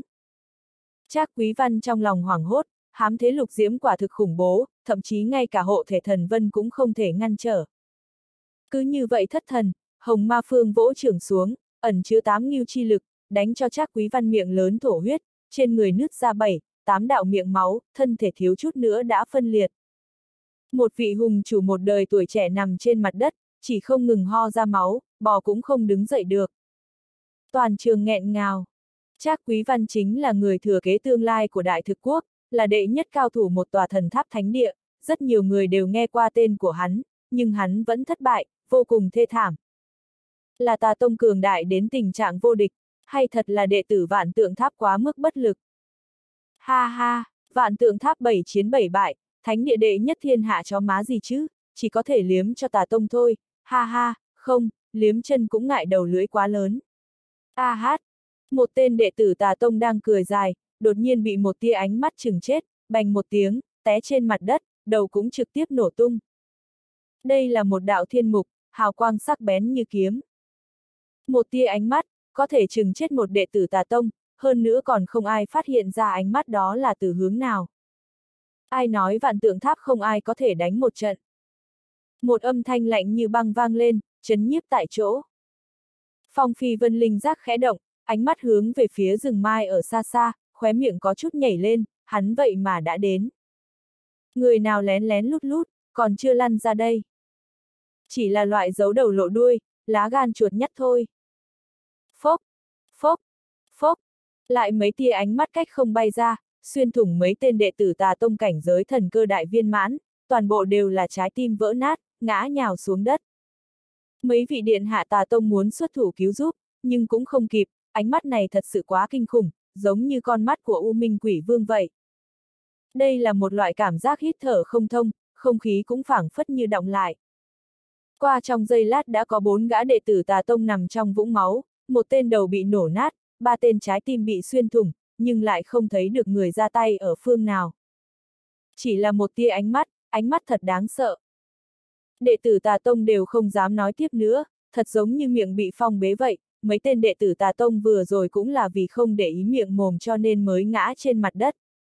Áo đen trên người hồng ma phương cũng bị gió lạnh cuốn bay lên, trong đôi mắt lưu động thần hoa, quét nhìn tứ phương, trầm giọng nói. Xem ra là tuyệt đại anh kiệt của vạn tượng tháp đã đến, Hồng Ma Phương ta ngược lại rất muốn chiếu cố ngươi đấy. Hồng Ma Phương tuy rằng hào khí vạn trượng, sát khí mười phần, nhưng trong lòng lại không bình tĩnh như vậy, hắn rất sợ người đến chính là yêu ma chi tử, dù sao ở dưới bán đạp sơn, chàng cảnh Hoàng Đạo Nam và Hắc Phong Nham chết ở trong tay Phong Phi Vân hắn vẫn còn nhớ rõ ràng. Hừ, cho dù đến chính là yêu ma chi tử, ta cũng cũng không phải là không có cơ hội thắng. Ngươi, không đủ tư cách. Thanh âm này không phải thanh âm của yêu ma chi tử. Hồng ma phương trong lòng lập tức bình tĩnh, cũng đúng, yêu ma chi tử đã chơi bạch như tuyết, đắc tội với toàn bộ tà tông, hắn căn bản không dám tới thiên mai trang viên. Vậy ngươi tới thử xem ta có tư cách không? Hồng ma phương trong lòng càng thêm không sợ, trên lưng mây lửa ngất trời, dị tượng xích hà thiên hải lần nữa triển khai, hắn đã theo thanh âm vừa rồi tìm ra được phương vị của người nọ. Đánh ra một đạo thủ ấn, một mảnh mây lửa liền áp xuống trong rừng mai kia. Nhưng phiến mây lửa kia còn chưa đánh xuống, lại là một đạo ánh mắt lạnh lùng xuyên qua mây lửa, cách một phiến hư không, đâm vào trên bàn tay hồng ma phương. Tia mắt kia dĩ nhiên là từ một phương hướng khác bay ra. Là ta phán đoán sai lầm, hay là tốc độ của đối phương đã nhanh đến mức vượt qua tốc độ ra tay của ta. Trên ngón tay hồng ma phương có máu tươi nhỏ xuống, may mắn thu trưởng nhanh, bằng không thì bàn tay hắn đã phế đi rồi. Huyết dịch theo đầu ngón tay chảy xuống, đát đát nhỏ trên mặt đất. Chúng anh kiệt vạn tượng tháp, tam vương tử đại thực quốc, con trai trưởng hổ thiên hầu, mộc đàm thiên, mộc thuyết, giờ phút này đều hai mặt nhìn nhau, đến rốt cuộc là vị thiên kiêu nào của vạn tượng tháp.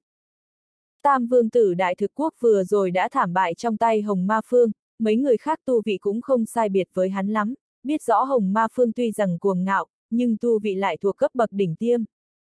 Thậm chí có người một chiêu đả thương hồng ma phương, tu vị này cũng quá cường đại đi. Liễu Thuận Phong cười nói. Hồng ma phương, ngươi lại bị một tên đệ tử vạn tượng tháp kích thương, buổi tối hôm qua vất vả quá độ trên bụng nữ nhân rồi sao? Ha ha, ai bảo nữ nhân vạn tượng tháp đều thủy nộn như vậy chứ?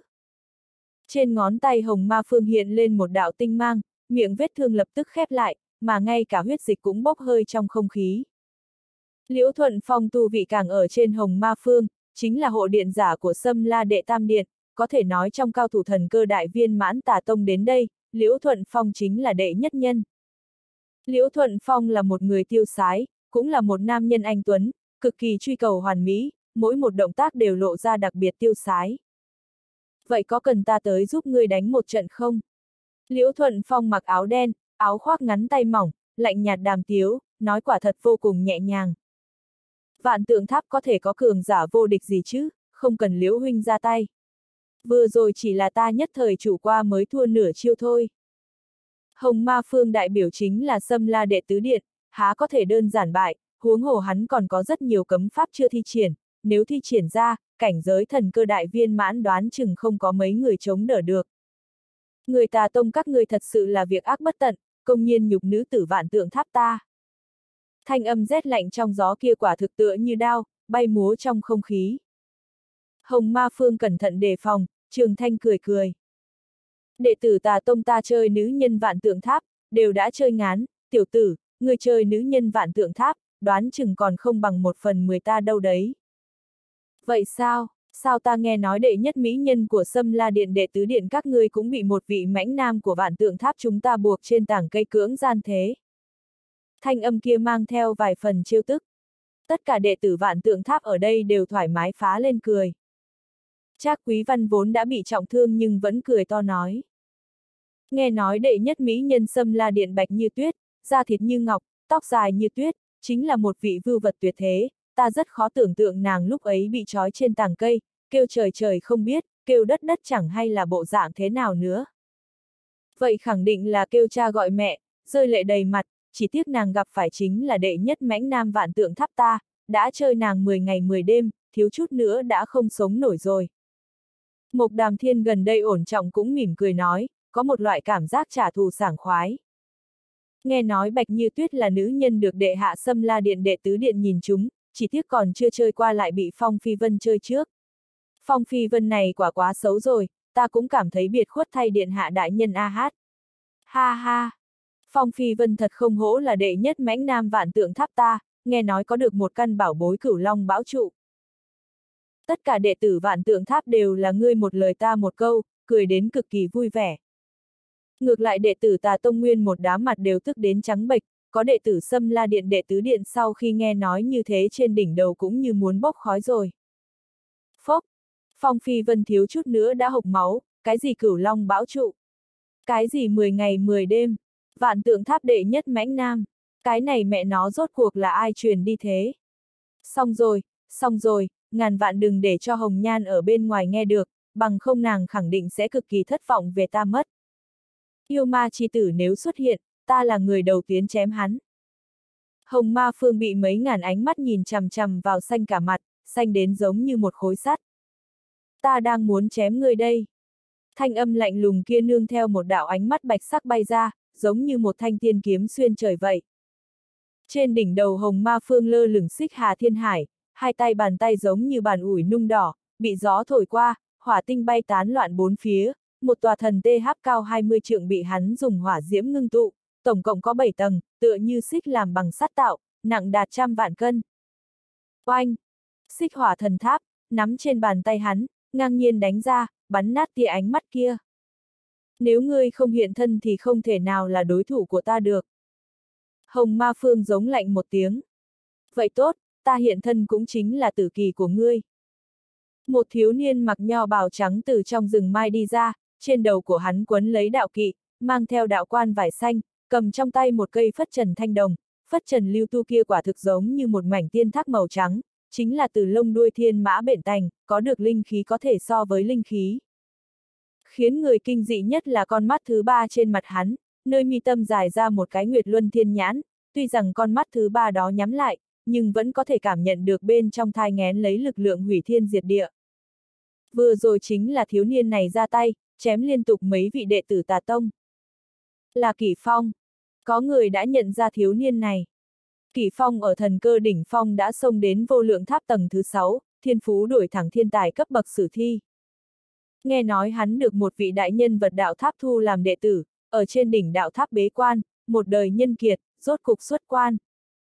Phong Phi Vân đã sớm đoán được là hắn, cũng chỉ có Nguyệt Luân Thiên Nhãn của hắn mới có uy lực đáng sợ như vậy. Phong Phi Vân tuy rằng từng đánh bại Kỳ Phong, nhưng cũng vô cùng cố hết sức, hơn nữa lúc ấy Nguyệt Luân Thiên Nhãn của Kỷ Phong vẫn chưa mở ra.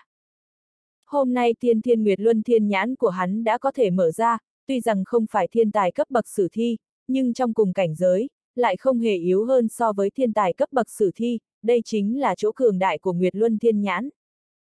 Ngày đó sông vô lượng tháp, Phong Phi Vân, Tiểu Tà Ma, Kỷ Phong, chính là tân sinh nhân kiệt cao cấp nhất.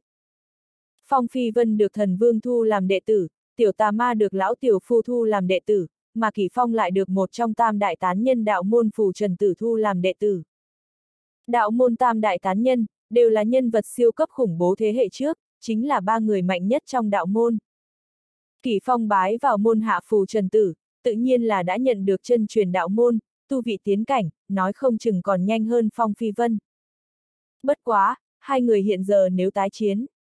Phong Phi Vân 40 đạo thần thức, còn đánh không lại Nguyệt Luân Thiên Nhãn của hắn sao? Thắng bại rất khó nói. Ngươi là người phương nào? Hồng Ma Phương trong mắt hơi híp, nhìn chằm chằm vào thiếu niên đeo đạo quan vải san, cười lạnh nói. Kỷ Phong. Kỷ Phong áo trắng bồng bềnh, chân đạp một mảnh tường vân, cũng không dính mặt đất, có một cổ thần vận đạo ra lánh đời. Hồng Ma Phương cười lạnh một tiếng, cười nói. Chưa từng có nghe nói qua vạn tượng tháp có nhân vật như ngươi a. À. Ngươi không nghe qua tên của ta. Kỷ Phong vùng ống tay áo lên, một mảnh đám mây màu xanh từ trong tay cuốn ra, phất trần trong tay cuốn ra ngoài, tựa như một đầu sông lớn tuôn ra, trực tiếp cuốn bay xích hỏa thần tháp trong tay Hồng Ma Phương, đánh bay ra ngoài, đâm ngược vào lồng ngực Hồng Ma Phương. Hồng Ma Phương hoảng hốt, vội vàng đánh ra ba đạo cấm thế thần thông, đều là vô thượng tuyệt học của tà tông mới có thể ngăn trở xích hỏa thần tháp. Vừa thở dài một hơi, lại phát hiện cổ của mình, đã bị phù trần quấn lấy, yết hầu càng co lại càng nhỏ, cuối cùng vỡ tan ra. Hồng Ma Phương vô cùng hoảng sợ, trên hai tay huyết khí tuôn ra, muốn thi triển huyết luyện cấm pháp, nhưng đã muộn, cổ của hắn bị phất trần tiên quang cắt đứt, đầu trực tiếp từ trên cổ bay ra ngoài. Oanh!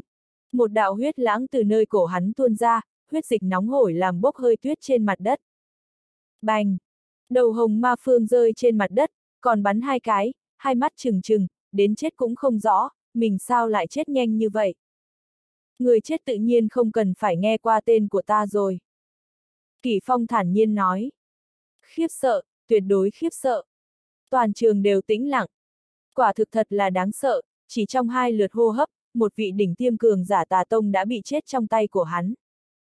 Đây chẳng lẽ chính là đệ nhất thiên tài của vạn tượng tháp sao? Điện hạ sâm la điện đệ thất điện vạn hương sầm trong đôi mắt tuyệt mỹ lộ ra vài phần rung động, mê người nói không nên lời.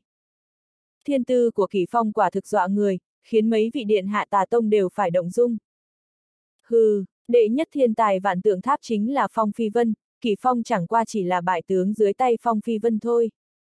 Luật Tam Xuyên cung kính nói với vạn hương sầm. Kỷ phong dẫm trên một mảnh tường vân màu trắng, đạo bào trên người bay múa trong gió tuyết, ống tay áo vén lên một góc, mang theo một cây phất trần. Hắn tuy rằng trẻ tuổi, nhưng lại có một loại cảm giác tiên phong đạo cốt. Không chỉ riêng người tà tông, đạo môn, ngự thú trai, hoàng đình hậu duệ quý tộc V. V đều khiếp sợ không thôi, Hồng Ma Phương liên tiếp đánh bại bảy tên nghịch thiên tài tuấn vậy mà lại chết trong tay thiếu niên này. Kỷ Phong. Vô số người ở đây đều nhớ kỹ cái tên này, xem ra vạn tượng tháp vẫn có kinh thế nhân kiệt, Kỳ Phong này rất có thể chính là đệ nhất thiên tài của vạn tượng tháp. Mà ngay cả La Phù công chúa sắc mặt vẫn một mực khó coi, giờ phút này cũng lộ ra một tia tươi cười động lòng người. Ngươi là đệ nhất thiên tài của vạn tượng tháp. Liễu Thuận Phong chắp hai tay sau lưng, khóe miệng mang theo một tia cười âm trầm. Hiện giờ còn không phải. Kỷ Phong nhìn chằm chằm vào trên người nam tử tà tông. Ngươi không phải đệ nhất thiên tài vạn tượng tháp. Lông mày Liễu Thuận Phong có chút cao lại. Không có khả năng, tu vi như thế, vạn tượng tháp không thể tìm ra người thứ hai. Đây là muốn hù dọa ai? Thiên tài vạn tượng tháp thực mạnh như vậy, bên bờ thánh hồ sao lại 10 chiến 10 bại chứ? Đệ tử tà tông tứ điện cũng không tin, cảm thấy kỷ phong chính là đệ nhất thiên tài vạn tượng tháp, ít nhất ở dưới thiên mệnh, vạn tượng tháp không thể tìm ra người thứ hai mạnh hơn hắn được. Hai mắt kỷ phong tựa như lôi điện, mang theo một cổ lực lượng chọc mù mắt người, khiến những tên đệ tử tà tông kia đều nhao nhao ngậm miệng lại, cả đám đều câm như hến. Thiên tài chính thức của vạn tượng tháp nếu xuất thế, tà tông các người chống đỡ được sao? Kỷ Phong lạnh giọng nói. Ngay cả thiên tài cấp bậc sử thi thích dạ lai của vạn tượng tháp các ngươi cũng thua trong tay điện hạ chúng ta, vạn tượng tháp còn có nhân vật khó lường nào chứ? Liễu Thuận Phong cười nói. Kỷ Phong giọng cười mỉa mai. Thích dạ lai, ha ha, chẳng lẽ ngươi không biết thích dạ lai từng ở cùng cảnh giới thua Phong Phi Vân sao? Nhắc đến cái tên Phong Phi Vân, đệ tử Tà Tông lập tức lại bắt đầu chửi mẹ. Đệ tử Tà Tông, đối với danh tự này cực kỳ kiêng kỵ, sợ nhất có người nhắc đến mấy từ như cửu long bão trụ gì đó. Ta đã từng thua ở trong tay Phong Phi Vân. Kỷ Phong thừa nhận thập phần thản nhiên. Một viên đá kích thích ngàn tầng sóng, tất cả mọi người xôn xao. Tuy rằng người tà tông biết rõ yêu ma chi tử thiên phú tuyệt cao, được thần vương thu làm truyền nhân, nhưng lại căn bản không biết Phong Phi Vân từng đánh bại thích dạ lai, mà tê vị thiếu niên tu vị cao tuyệt trước mắt này, vậy mà cũng thừa nhận từng thua ở trong tay Phong Phi Vân. Yêu ma chi tử này đến cùng yêu nghiệt đến mức nào đây? Tà Tông vừa mới xuất thế, rất nhiều người đều chỉ nghe kỳ danh, mà không thấy một lần. Nếu vạn tượng tháp thật sự còn một thiên tài thiên phú cao hơn cả thích dạ lai và kỳ phong vậy quả thật cực kỳ đáng sợ. Nếu sư thúc ta ở đây, thiên kiêu tà tông các người ra hết cũng chưa hẳn là đối thủ của hắn. Vương mãnh hét lớn tiếng, vang vọng toàn trường, hắn ngồi ở trên một gốc cây mai, tựa như một đầu đại tinh tinh, như muốn đè sập cả cành cây. Tất ninh xuất ở cùng một chỗ với hắn, cũng ngồi ở trên cây mai, tựa như một con sấu hầu tử, trên đầu đội mũ rơm, che khuất lấy gương mặt đen của mình, sợ bị người nhận ra. Hắn đang hết nhìn đông tới nhìn tây, tựa hồ đang tìm người nào đó, loại trường hợp này, Phong Phi Vân không có khả năng không đến, nhưng vì sao không thấy hắn xuất hiện? Hừ, thật là buồn cười, Phong Phi Vân không đến còn may, nếu hắn đến đây, ta nhất định sẽ lấy tính mệnh của hắn. Liễu Thuận Phong lại nói, tà tông ta cao thủ dưới thiên mệnh nhiều không kể xiết, Hồng Ma Phương chỉ coi như miễn cưỡng xếp vào top 10, cường giả chân chính còn chưa ra tay đâu. Mười vị điện hạ tà tông đều là nhân vật cấp bậc thiên mệnh, chính là trí cường phía sau màn, hôm nay, chính thức ra tay chính là tuyệt đỉnh thiên tài thần cơ đại viên mãn, trong những tuyệt đỉnh thiên tài này có mấy nhân vật khủng bố, Hồng Ma Phương cũng không nằm trong đó. Ai là cường giả chân chính?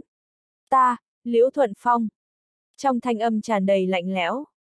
Kỳ Phong cảm nhận được có một mảnh núi cao đè xuống hắn, trên đỉnh đầu tối sầm, một cái cự ảnh áp xuống dưới. Thật là một tòa núi lớn. Ngọn núi lớn này tổng cộng có 5 tòa ngọn núi, trên đó ma diễm ngập trời, hình dạng cực kỳ giống bàn tay người, có uy lực trấn áp muôn đời. Đây là một trong thập nhị đại tà công của Sâm La Điện, vô lượng ngũ chỉ sơn. Sâm La Điện thập nhị đại tà công đều là thần thông vô địch hậu thế, mỗi một loại đều bác đại tinh thâm, tu luyện tới trình độ nhất định, có thể phần thiên trưng hải, truy tinh đuổi nguyệt. Vô lượng ngũ chỉ sơn, nghe đồn là do một vị ma tăng sáng chế, thân là điện chủ đời thứ ba Sâm La Điện, lúc ca đó Sâm La Điện thập điện còn chưa phân liệt, Sâm La Điện chính là tà tông chi chủ trong thiên hạ, địa vị trong tu tiên giới có thể so với thần tấn vương triều hiện giờ. Ở thời đại kia, không ai dám làm trái với ý chí của Sâm La Điện. Liễu Thuận Phong vậy mà tu luyện thành loại tà công này, chỉ trở tay một trưởng đã đánh ra một tòa núi cao thiêu đốt ma diễm. Tất cả mọi người ở đây đều cảm thấy một cổ ma uy đáng sợ, thật giống như một mảnh thiên không sụp xuống, mọi người nhao nhao tế ra thần pháp hộ thể, sợ bị tòa núi cao trên bầu trời kia chấn chết. Kỷ Phong ánh mắt kiên định, phất trần trong tay bắt đầu chuyển động, vẽ ra trong không khí một vòng xoáy, tạo thành một bức thái cực thần đồ. Thái thanh bát trận đồ. Đây là một chiêu thần thông đạo môn cổ xưa, nghe đồn chính là chiêu số trong tam tác đạo môn do đạo tổ truyền xuống, từ trong đệ nhất tác đạo môn thái thanh minh kính diễn hóa ra. Đây là một chiêu đạo môn thần thông đã thất truyền 300 năm, khiến mấy vị đạo môn tiên tử mặc đạo bào màu xanh ở trong tràng đều phải khiếp sợ, các nàng tiên tâm đo cốt, tựa như thanh liên tọa thần hồ, nhưng giờ phút này lại không thể bình tĩnh được nữa. Thái thanh bát trận đồ, chính là truyền thế thần pháp của một trong đạo môn tam đại tán nhân Phù Trần Tử, nhưng từ 300 năm trước, sau khi Phù Trần Tử giá hạc nam hành thì môn thần thông này cũng chưa từng hiện thế trên thế gian. Chẳng lẽ thiếu niên thiên tư tuyệt đỉnh này chính là truyền nhân của Phù Trần Tử sao, thân phận này quả thực quá dọa người, bối phận ở tu tiên giới quả thực có thể sánh vai với một ít cự kình. Vô lượng ngũ chỉ sơn và thái thanh bát trận đồ đánh nhau, tựa như một mảnh biển cát cùng thần nhạc đang tranh phong, cuối cùng nhất hai loại thần thông đều phai mờ, bạo liệt ra trong không khí một mảnh khí lãng màu vàng cực lớn. Rất nhiều tu sĩ vào thời khắc này, đều bị cổ lực lượng này trùng kích khiến té trên mặt đất, đầu một ít người như bị cự trung va chạm, ngất đi. Liễu Thuận Phong mãnh liệt lui về phía sau một bước, bàn tay đau đớn muốn nứt, phảng phất như xương cốt đều đứt gãy. 3. Tường vân dưới chân kỷ phong bị đánh sơ xác, hai chân chìm vào mặt đất, xương nơi hai đùi đều phát ra thanh âm khanh khách, phảng phất như muốn vỡ vụn vậy. Một kích thật cường đại. Liễu Thuận Phong chính là thiên tài cao cấp nhất tà tông, chiến lực cao hơn Hồng Ma Phương gấp đôi, chính là nhân vật đứng ở đỉnh cao nhất. Tất cả tà tông đệ tử đều cho rằng Liễu Thuận Phong có thể một chiêu trần áp tuyệt đại thiên tài của vạn tượng tháp này, nhưng vô lượng ngũ chỉ sơn cũng đã đánh ra, mà Kỳ Phong vẫn đứng ở đó, thân thể thẳng tắp như tùng. Lại có thể đánh ngang tay với Liễu Thuận Phong, thiên nhiên gọi là Kỳ Phong này quả thực quá cường đại, vạn tượng tháp có hắn ở đây thì cũng không tính là quá suy sụp. Đây mới thực sự là làm vẻ vang cho vạn tượng tháp. Tốt! La Phù công chúa cũng nhìn không được nhẹ nhàng hô lên, phân phó Ngọc Công Công đứng bên cạnh một câu, Ngọc Công Công gật đầu cười, sau đó đi về phía chiến pháp cổ đài. Chúc mừng kỳ công tử, công chúa điện hạ rất coi trọng ngươi, ngươi cũng đừng khiến cho nàng thất vọng a hát. Ngọc Công Công cười tùm tìm nói. kỳ Phong cho dù liều chết, cũng không dám khiến công chúa điện hạ thất vọng. Kỷ Phong có chút khẽ khom người. La Phù công chúa có bao nhiêu năng lượng, Kỷ Phong rõ ràng hơn ai hết, ngay cả thiên tài cấp bậc sử thi như thích dạ lai cũng cam tâm làm môn khách của nàng. Có thể được nàng nhìn chúng, đích thật là một vinh hạnh đặc biệt lớn lao. Ngọc Công Công nhẹ gật đầu, cười nói. Hồng Ma Phương đã bị chết, chỉ cần ngươi có thể chiến thắng Liễu Thuận Phong thì coi như đã chiến thắng đệ tứ điện và đệ tam điện, như vậy coi như đã vãn hồi được thể diện cho vạn tượng tháp chúng ta rồi. Ngọc Công Công cũng không nói tiếp, liền xoay người rời đi. Tuyệt thế thiên tài của tà tông thật sự quá nhiều, tàng long ngọa hổ, kỳ phong tuy rằng cường đại, nhưng muốn chiến hết tất cả nhân kiệt tà tông thì vẫn là chuyện không thể nào. Có thể đánh bại hai vị đỉnh tiêm thiên tài của đệ tứ điện và đệ tam điện cũng đã là chuyện rất giỏi rồi. Trong lòng đệ tử vạn tượng tháp ở đây cũng nghĩ vậy, không dám nghĩ có thể đánh bại hết nghịch thiên nhân kiệt của tà tông, đó quả thật là chuyện không thể nào. Liễu Thuận Phong cũng đã khủng bố như thế, trong tà tông còn có mấy điện hiện giờ còn chưa có thiên tài tới, nói không chừng trong đó có che giấu người còn cường đại hơn cả Liễu Thuận Phong. Hôm nay vạn tượng tháp quyết không thể bại.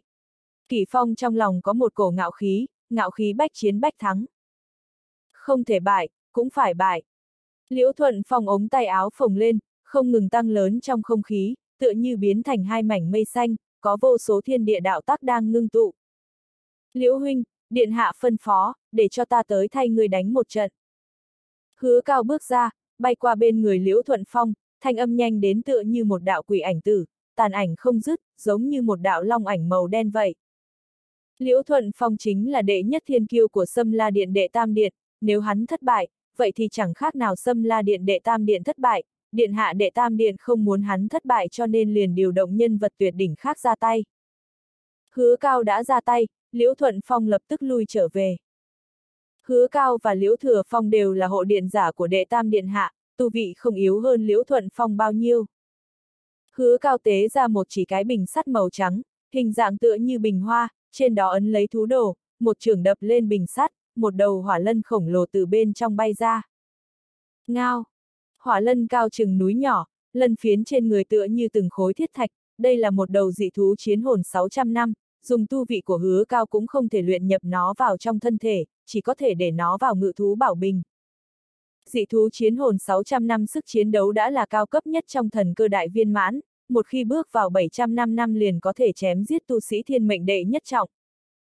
Phốc, Kỷ Phong mở rộng Nguyệt Luân Thiên Nhãn, ban ngày trên thiên mạc có một mảnh ánh trăng nhìn không thấy nhảy vào trong mắt của hắn, một đạo ánh mắt khủng bố vô biên bắn ra ngoài, đánh cho hỏa lân tinh hồn phải sơ xác. Ánh mắt như kiếm, hình như thực chất. Oanh! Thân thể hứa cao ầm ầm té xuống, thân thể chia năm xẻ bảy, máu tươi quả thực còn đỏ hơn cả hoa mai.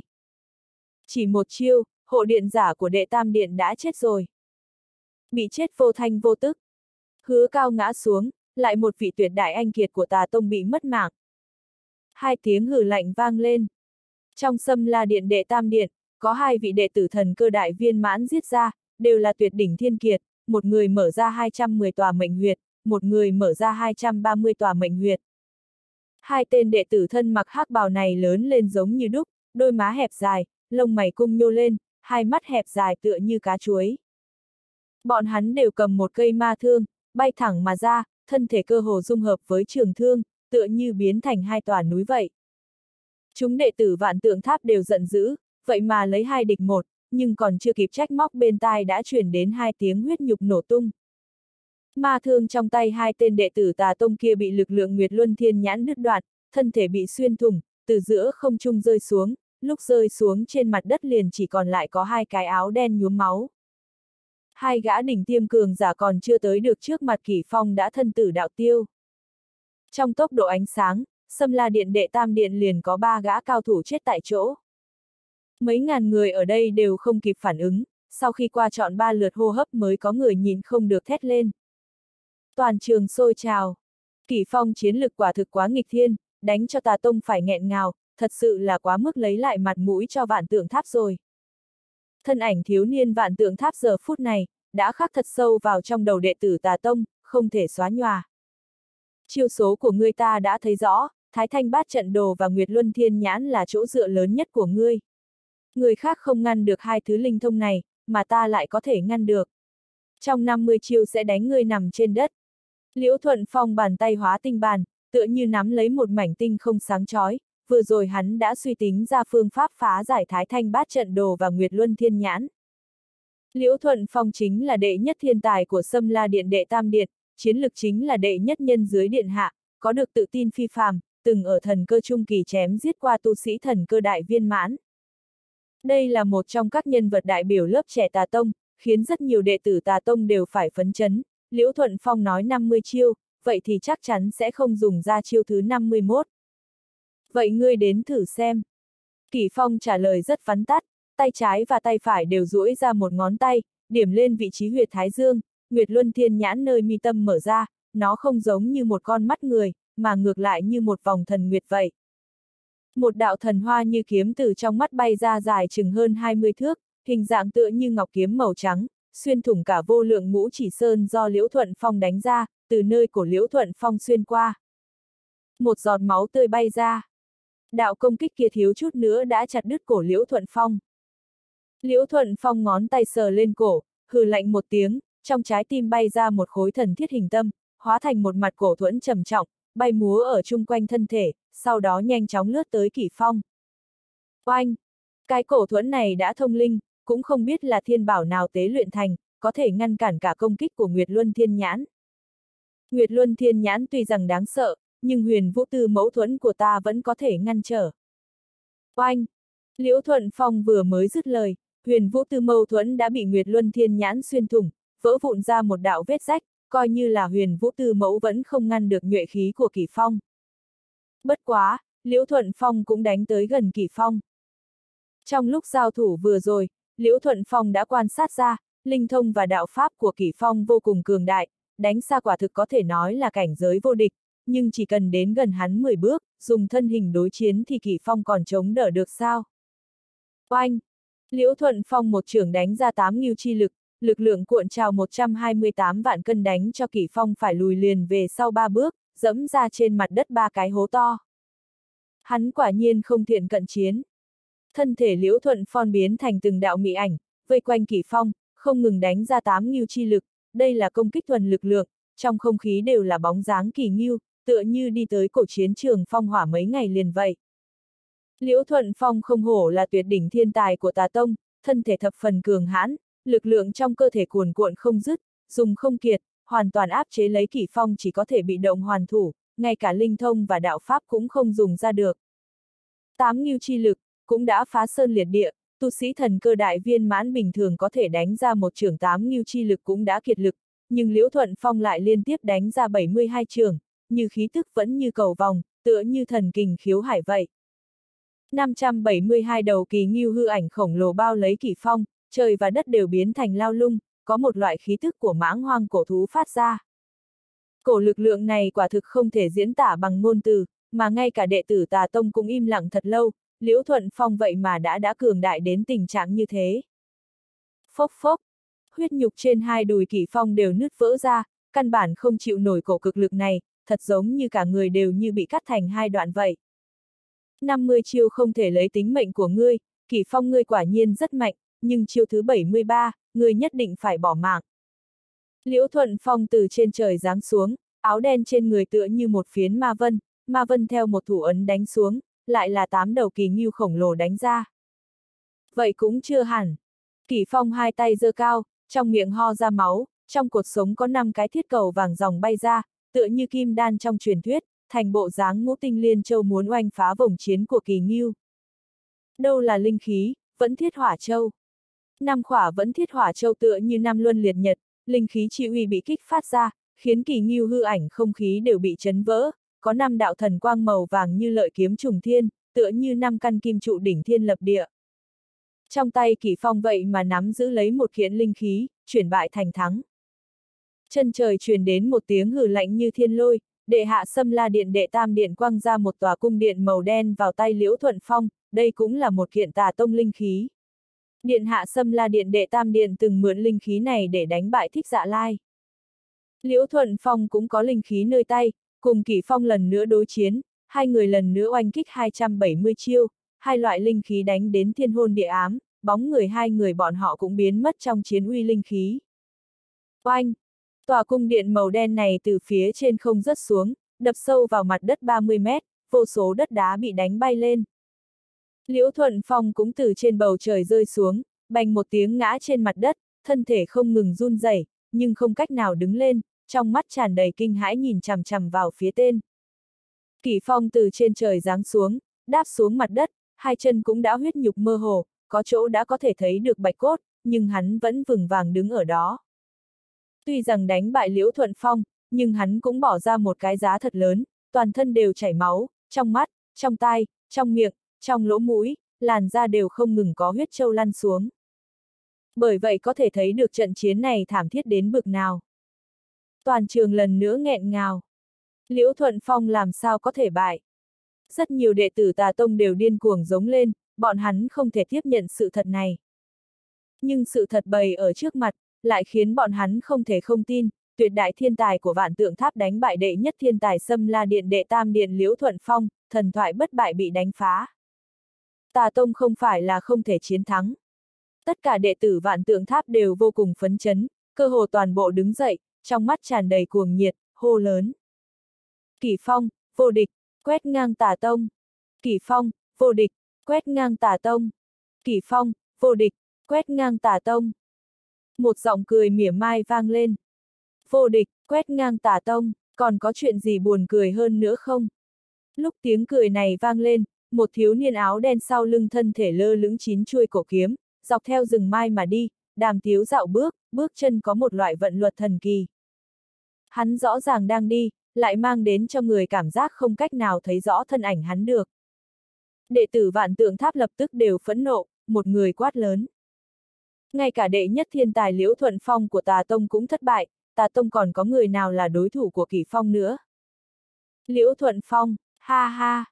Thiếu niên mặc áo đen lưng đeo cửu kiếm kia không biết như thế nào lại chạy vào trong cổ pháp chiến đa, nhưng rõ ràng lại đi lại trong rừng mai, xuất hiện thật sự quỷ dị, hắn sờ lên cảm của mình, âm thanh lạnh lùng nói. xâm la điện đệ tam điện và đệ tứ điện thật sự là khiến tà tông chúng ta mất mặt, rõ ràng bại bởi một tên đệ tử vạn tượng tháp. Đám đệ tử vạn tượng tháp trợn mắt nhìn nhau, muốn trách mắng lại bị thiếu niên mặc áo đen kia chừng mắt liếc qua, con mắt trực tiếp vỡ vụn ra, trong mắt cũng hóa thành hai luồng bùn máu. Hẳn là hắn chính là nhân vật trong truyền thuyết kia của Sâm La đệ thập điện sao? Các ngươi nói chẳng lẽ là... Mà ngay cả đệ tử tà tông cũng cảm thấy sợ hãi, nhìn chăm chăm vào thiếu niên lưng đeo cửu kiếm kia, thật giống như thấy được địa ngục yêu ma vậy. Năm tuổi ăn mẹ, giết cha luyện kiếm, cửu u ma đồ, nạp lan tuyết táng. Thiếu niên sau lưng lơ lửng chín chuôi cổ kiếm kia có tên là nạp lan tuyết táng, nhưng trong tà tông đều gọi hắn là cửu u ma đồ, đây là một nhân vật ngay cả đệ tử tà tông cũng phải hoàng sợ, từng ăn mẹ giết cha, máu lạnh đến cực điểm. Nạp Lan Tuyết Táng chính là một trong ba người khiến người hoảng sợ nhất trong lớp trẻ tà tông thập điện. Mặc dù là Liễu Thuận Phong vào lúc toàn thịnh nhìn thấy ba người này, cũng tuyệt đối sẽ không đánh một trận với bọn họ, sẽ trực tiếp tránh lui. Kỷ Phong, ha ha. Nạp Lan Tuyết Táng cười cười, nói. Người có tư cách cùng ta đánh một trận, ta cho ngươi ba canh giờ dưỡng thương, sau khi thương thế lành, ta sẽ đánh phế ngươi. Nạp Lan Tuyết Táng tuy rằng đang cười, nhưng nụ cười kia lại khiến người không rét mà run. Không cần, nếu ngươi muốn chiến, kỳ thật trong xó thiên kiêu nhân kiệt ở đây có người có thể đánh với ngươi một trận. Kỳ Phong lại ho ra hai ngụm máu tươi, thương thế của hắn thật sự quá nặng, đừng nói ba canh giờ, coi như là ba ngày cũng không thể khỏi hẳn. Nạp Lan Tuyết táng nhíu mày, nói. Hắn cũng là đỉnh tiêm đệ tử của vạn tượng tháp sao? Kỷ Phong lắc đầu, nói. Hắn tuy rằng không phải đệ tử vạn tượng tháp, nhưng lại có giao hảo với vạn tượng tháp, vừa rồi ở bên ngoài thiên mai trang viên chém liên tục hai vị cao thủ tà tông, đã cứu bốn nữ tử của vạn tượng tháp ta. Khục khục, hơn nữa hắn còn công bố muốn bắt nữ tử đẹp nhất của Sâm La Điện Thập Điện về làm tình phụ. Lời này vừa nói ra, toàn trường xô trào. Bắt nữ tử đẹp nhất xâm La Điện Thập Điện về đem làm tình phụ. Những lời này quả thực quá vô địch rồi. Đệ tử tà tông toàn trường đều sợ run, tiếp theo chửi ầm lên, mà ngay cả đệ hạ xâm La Điện đệ thất điện vạn hương sầm cũng hử lạnh một tiếng. Trong tà tông có mấy mỹ nhân tuyệt sắc, đều là đệ nhất mỹ nhân của các đại tà điện, mỹ mạo khuynh thiên hạ, so với tiên tử đạo môn còn muốn xinh đẹp hơn. Chính là đến đây đền quan chiến, muốn xem xem những nhân vật kinh thái tuyệt diễm khắp thiên hạ. Giờ phút này, các nàng đều sắc mặt xấu hổ, nghiến răng nghiến lợi, trong đôi mắt đẹp dịu dàng đằng đằng sát khí, các nàng đều là thiên chi kiều nữ của tà tông, nhưng lại tâm ngoan thủ lạt, ngay cả đệ tử tà tông cũng không dám đụng các nàng, rốt cuộc là người phương nào vậy mà dám đánh chủ ý lên người các nàng thế. Đệ tử tà tông toàn bộ đều phẫn nộ rồi, một cổ sát khí sông trời cao, mỗi người đều như ma thần đến thế gian. Người nọ rốt cuộc là ai? Còn chưa cút đi ra nhận lấy cái chết, quá ghê tởm, lại dám công bố muốn bắt đệ hất Mỹ nhân xâm la điện đệ tam điện ta, bích tiên tiên, về làm tình phụ, đây là đang muốn đối địch với toàn bộ xâm la đệ tam điện chúng ta. Quá tức giận rồi, đệ nhất mỹ nhân xâm la điện đệ thất điện ta chính là điện hạ đại nhân, tên vương bát đản này chẳng lẽ muốn bắt điện hạ làm tình phụ sao? Ba ba. Đệ tử tà tông của Sâm La Điện đệ thất điện còn chưa hết lời đã bị vạn hương sầm tát hai bạt tai, thân thể cũng xoay tròn vài vòng, bay ra ngoài lăn vài vòng trên mặt đất.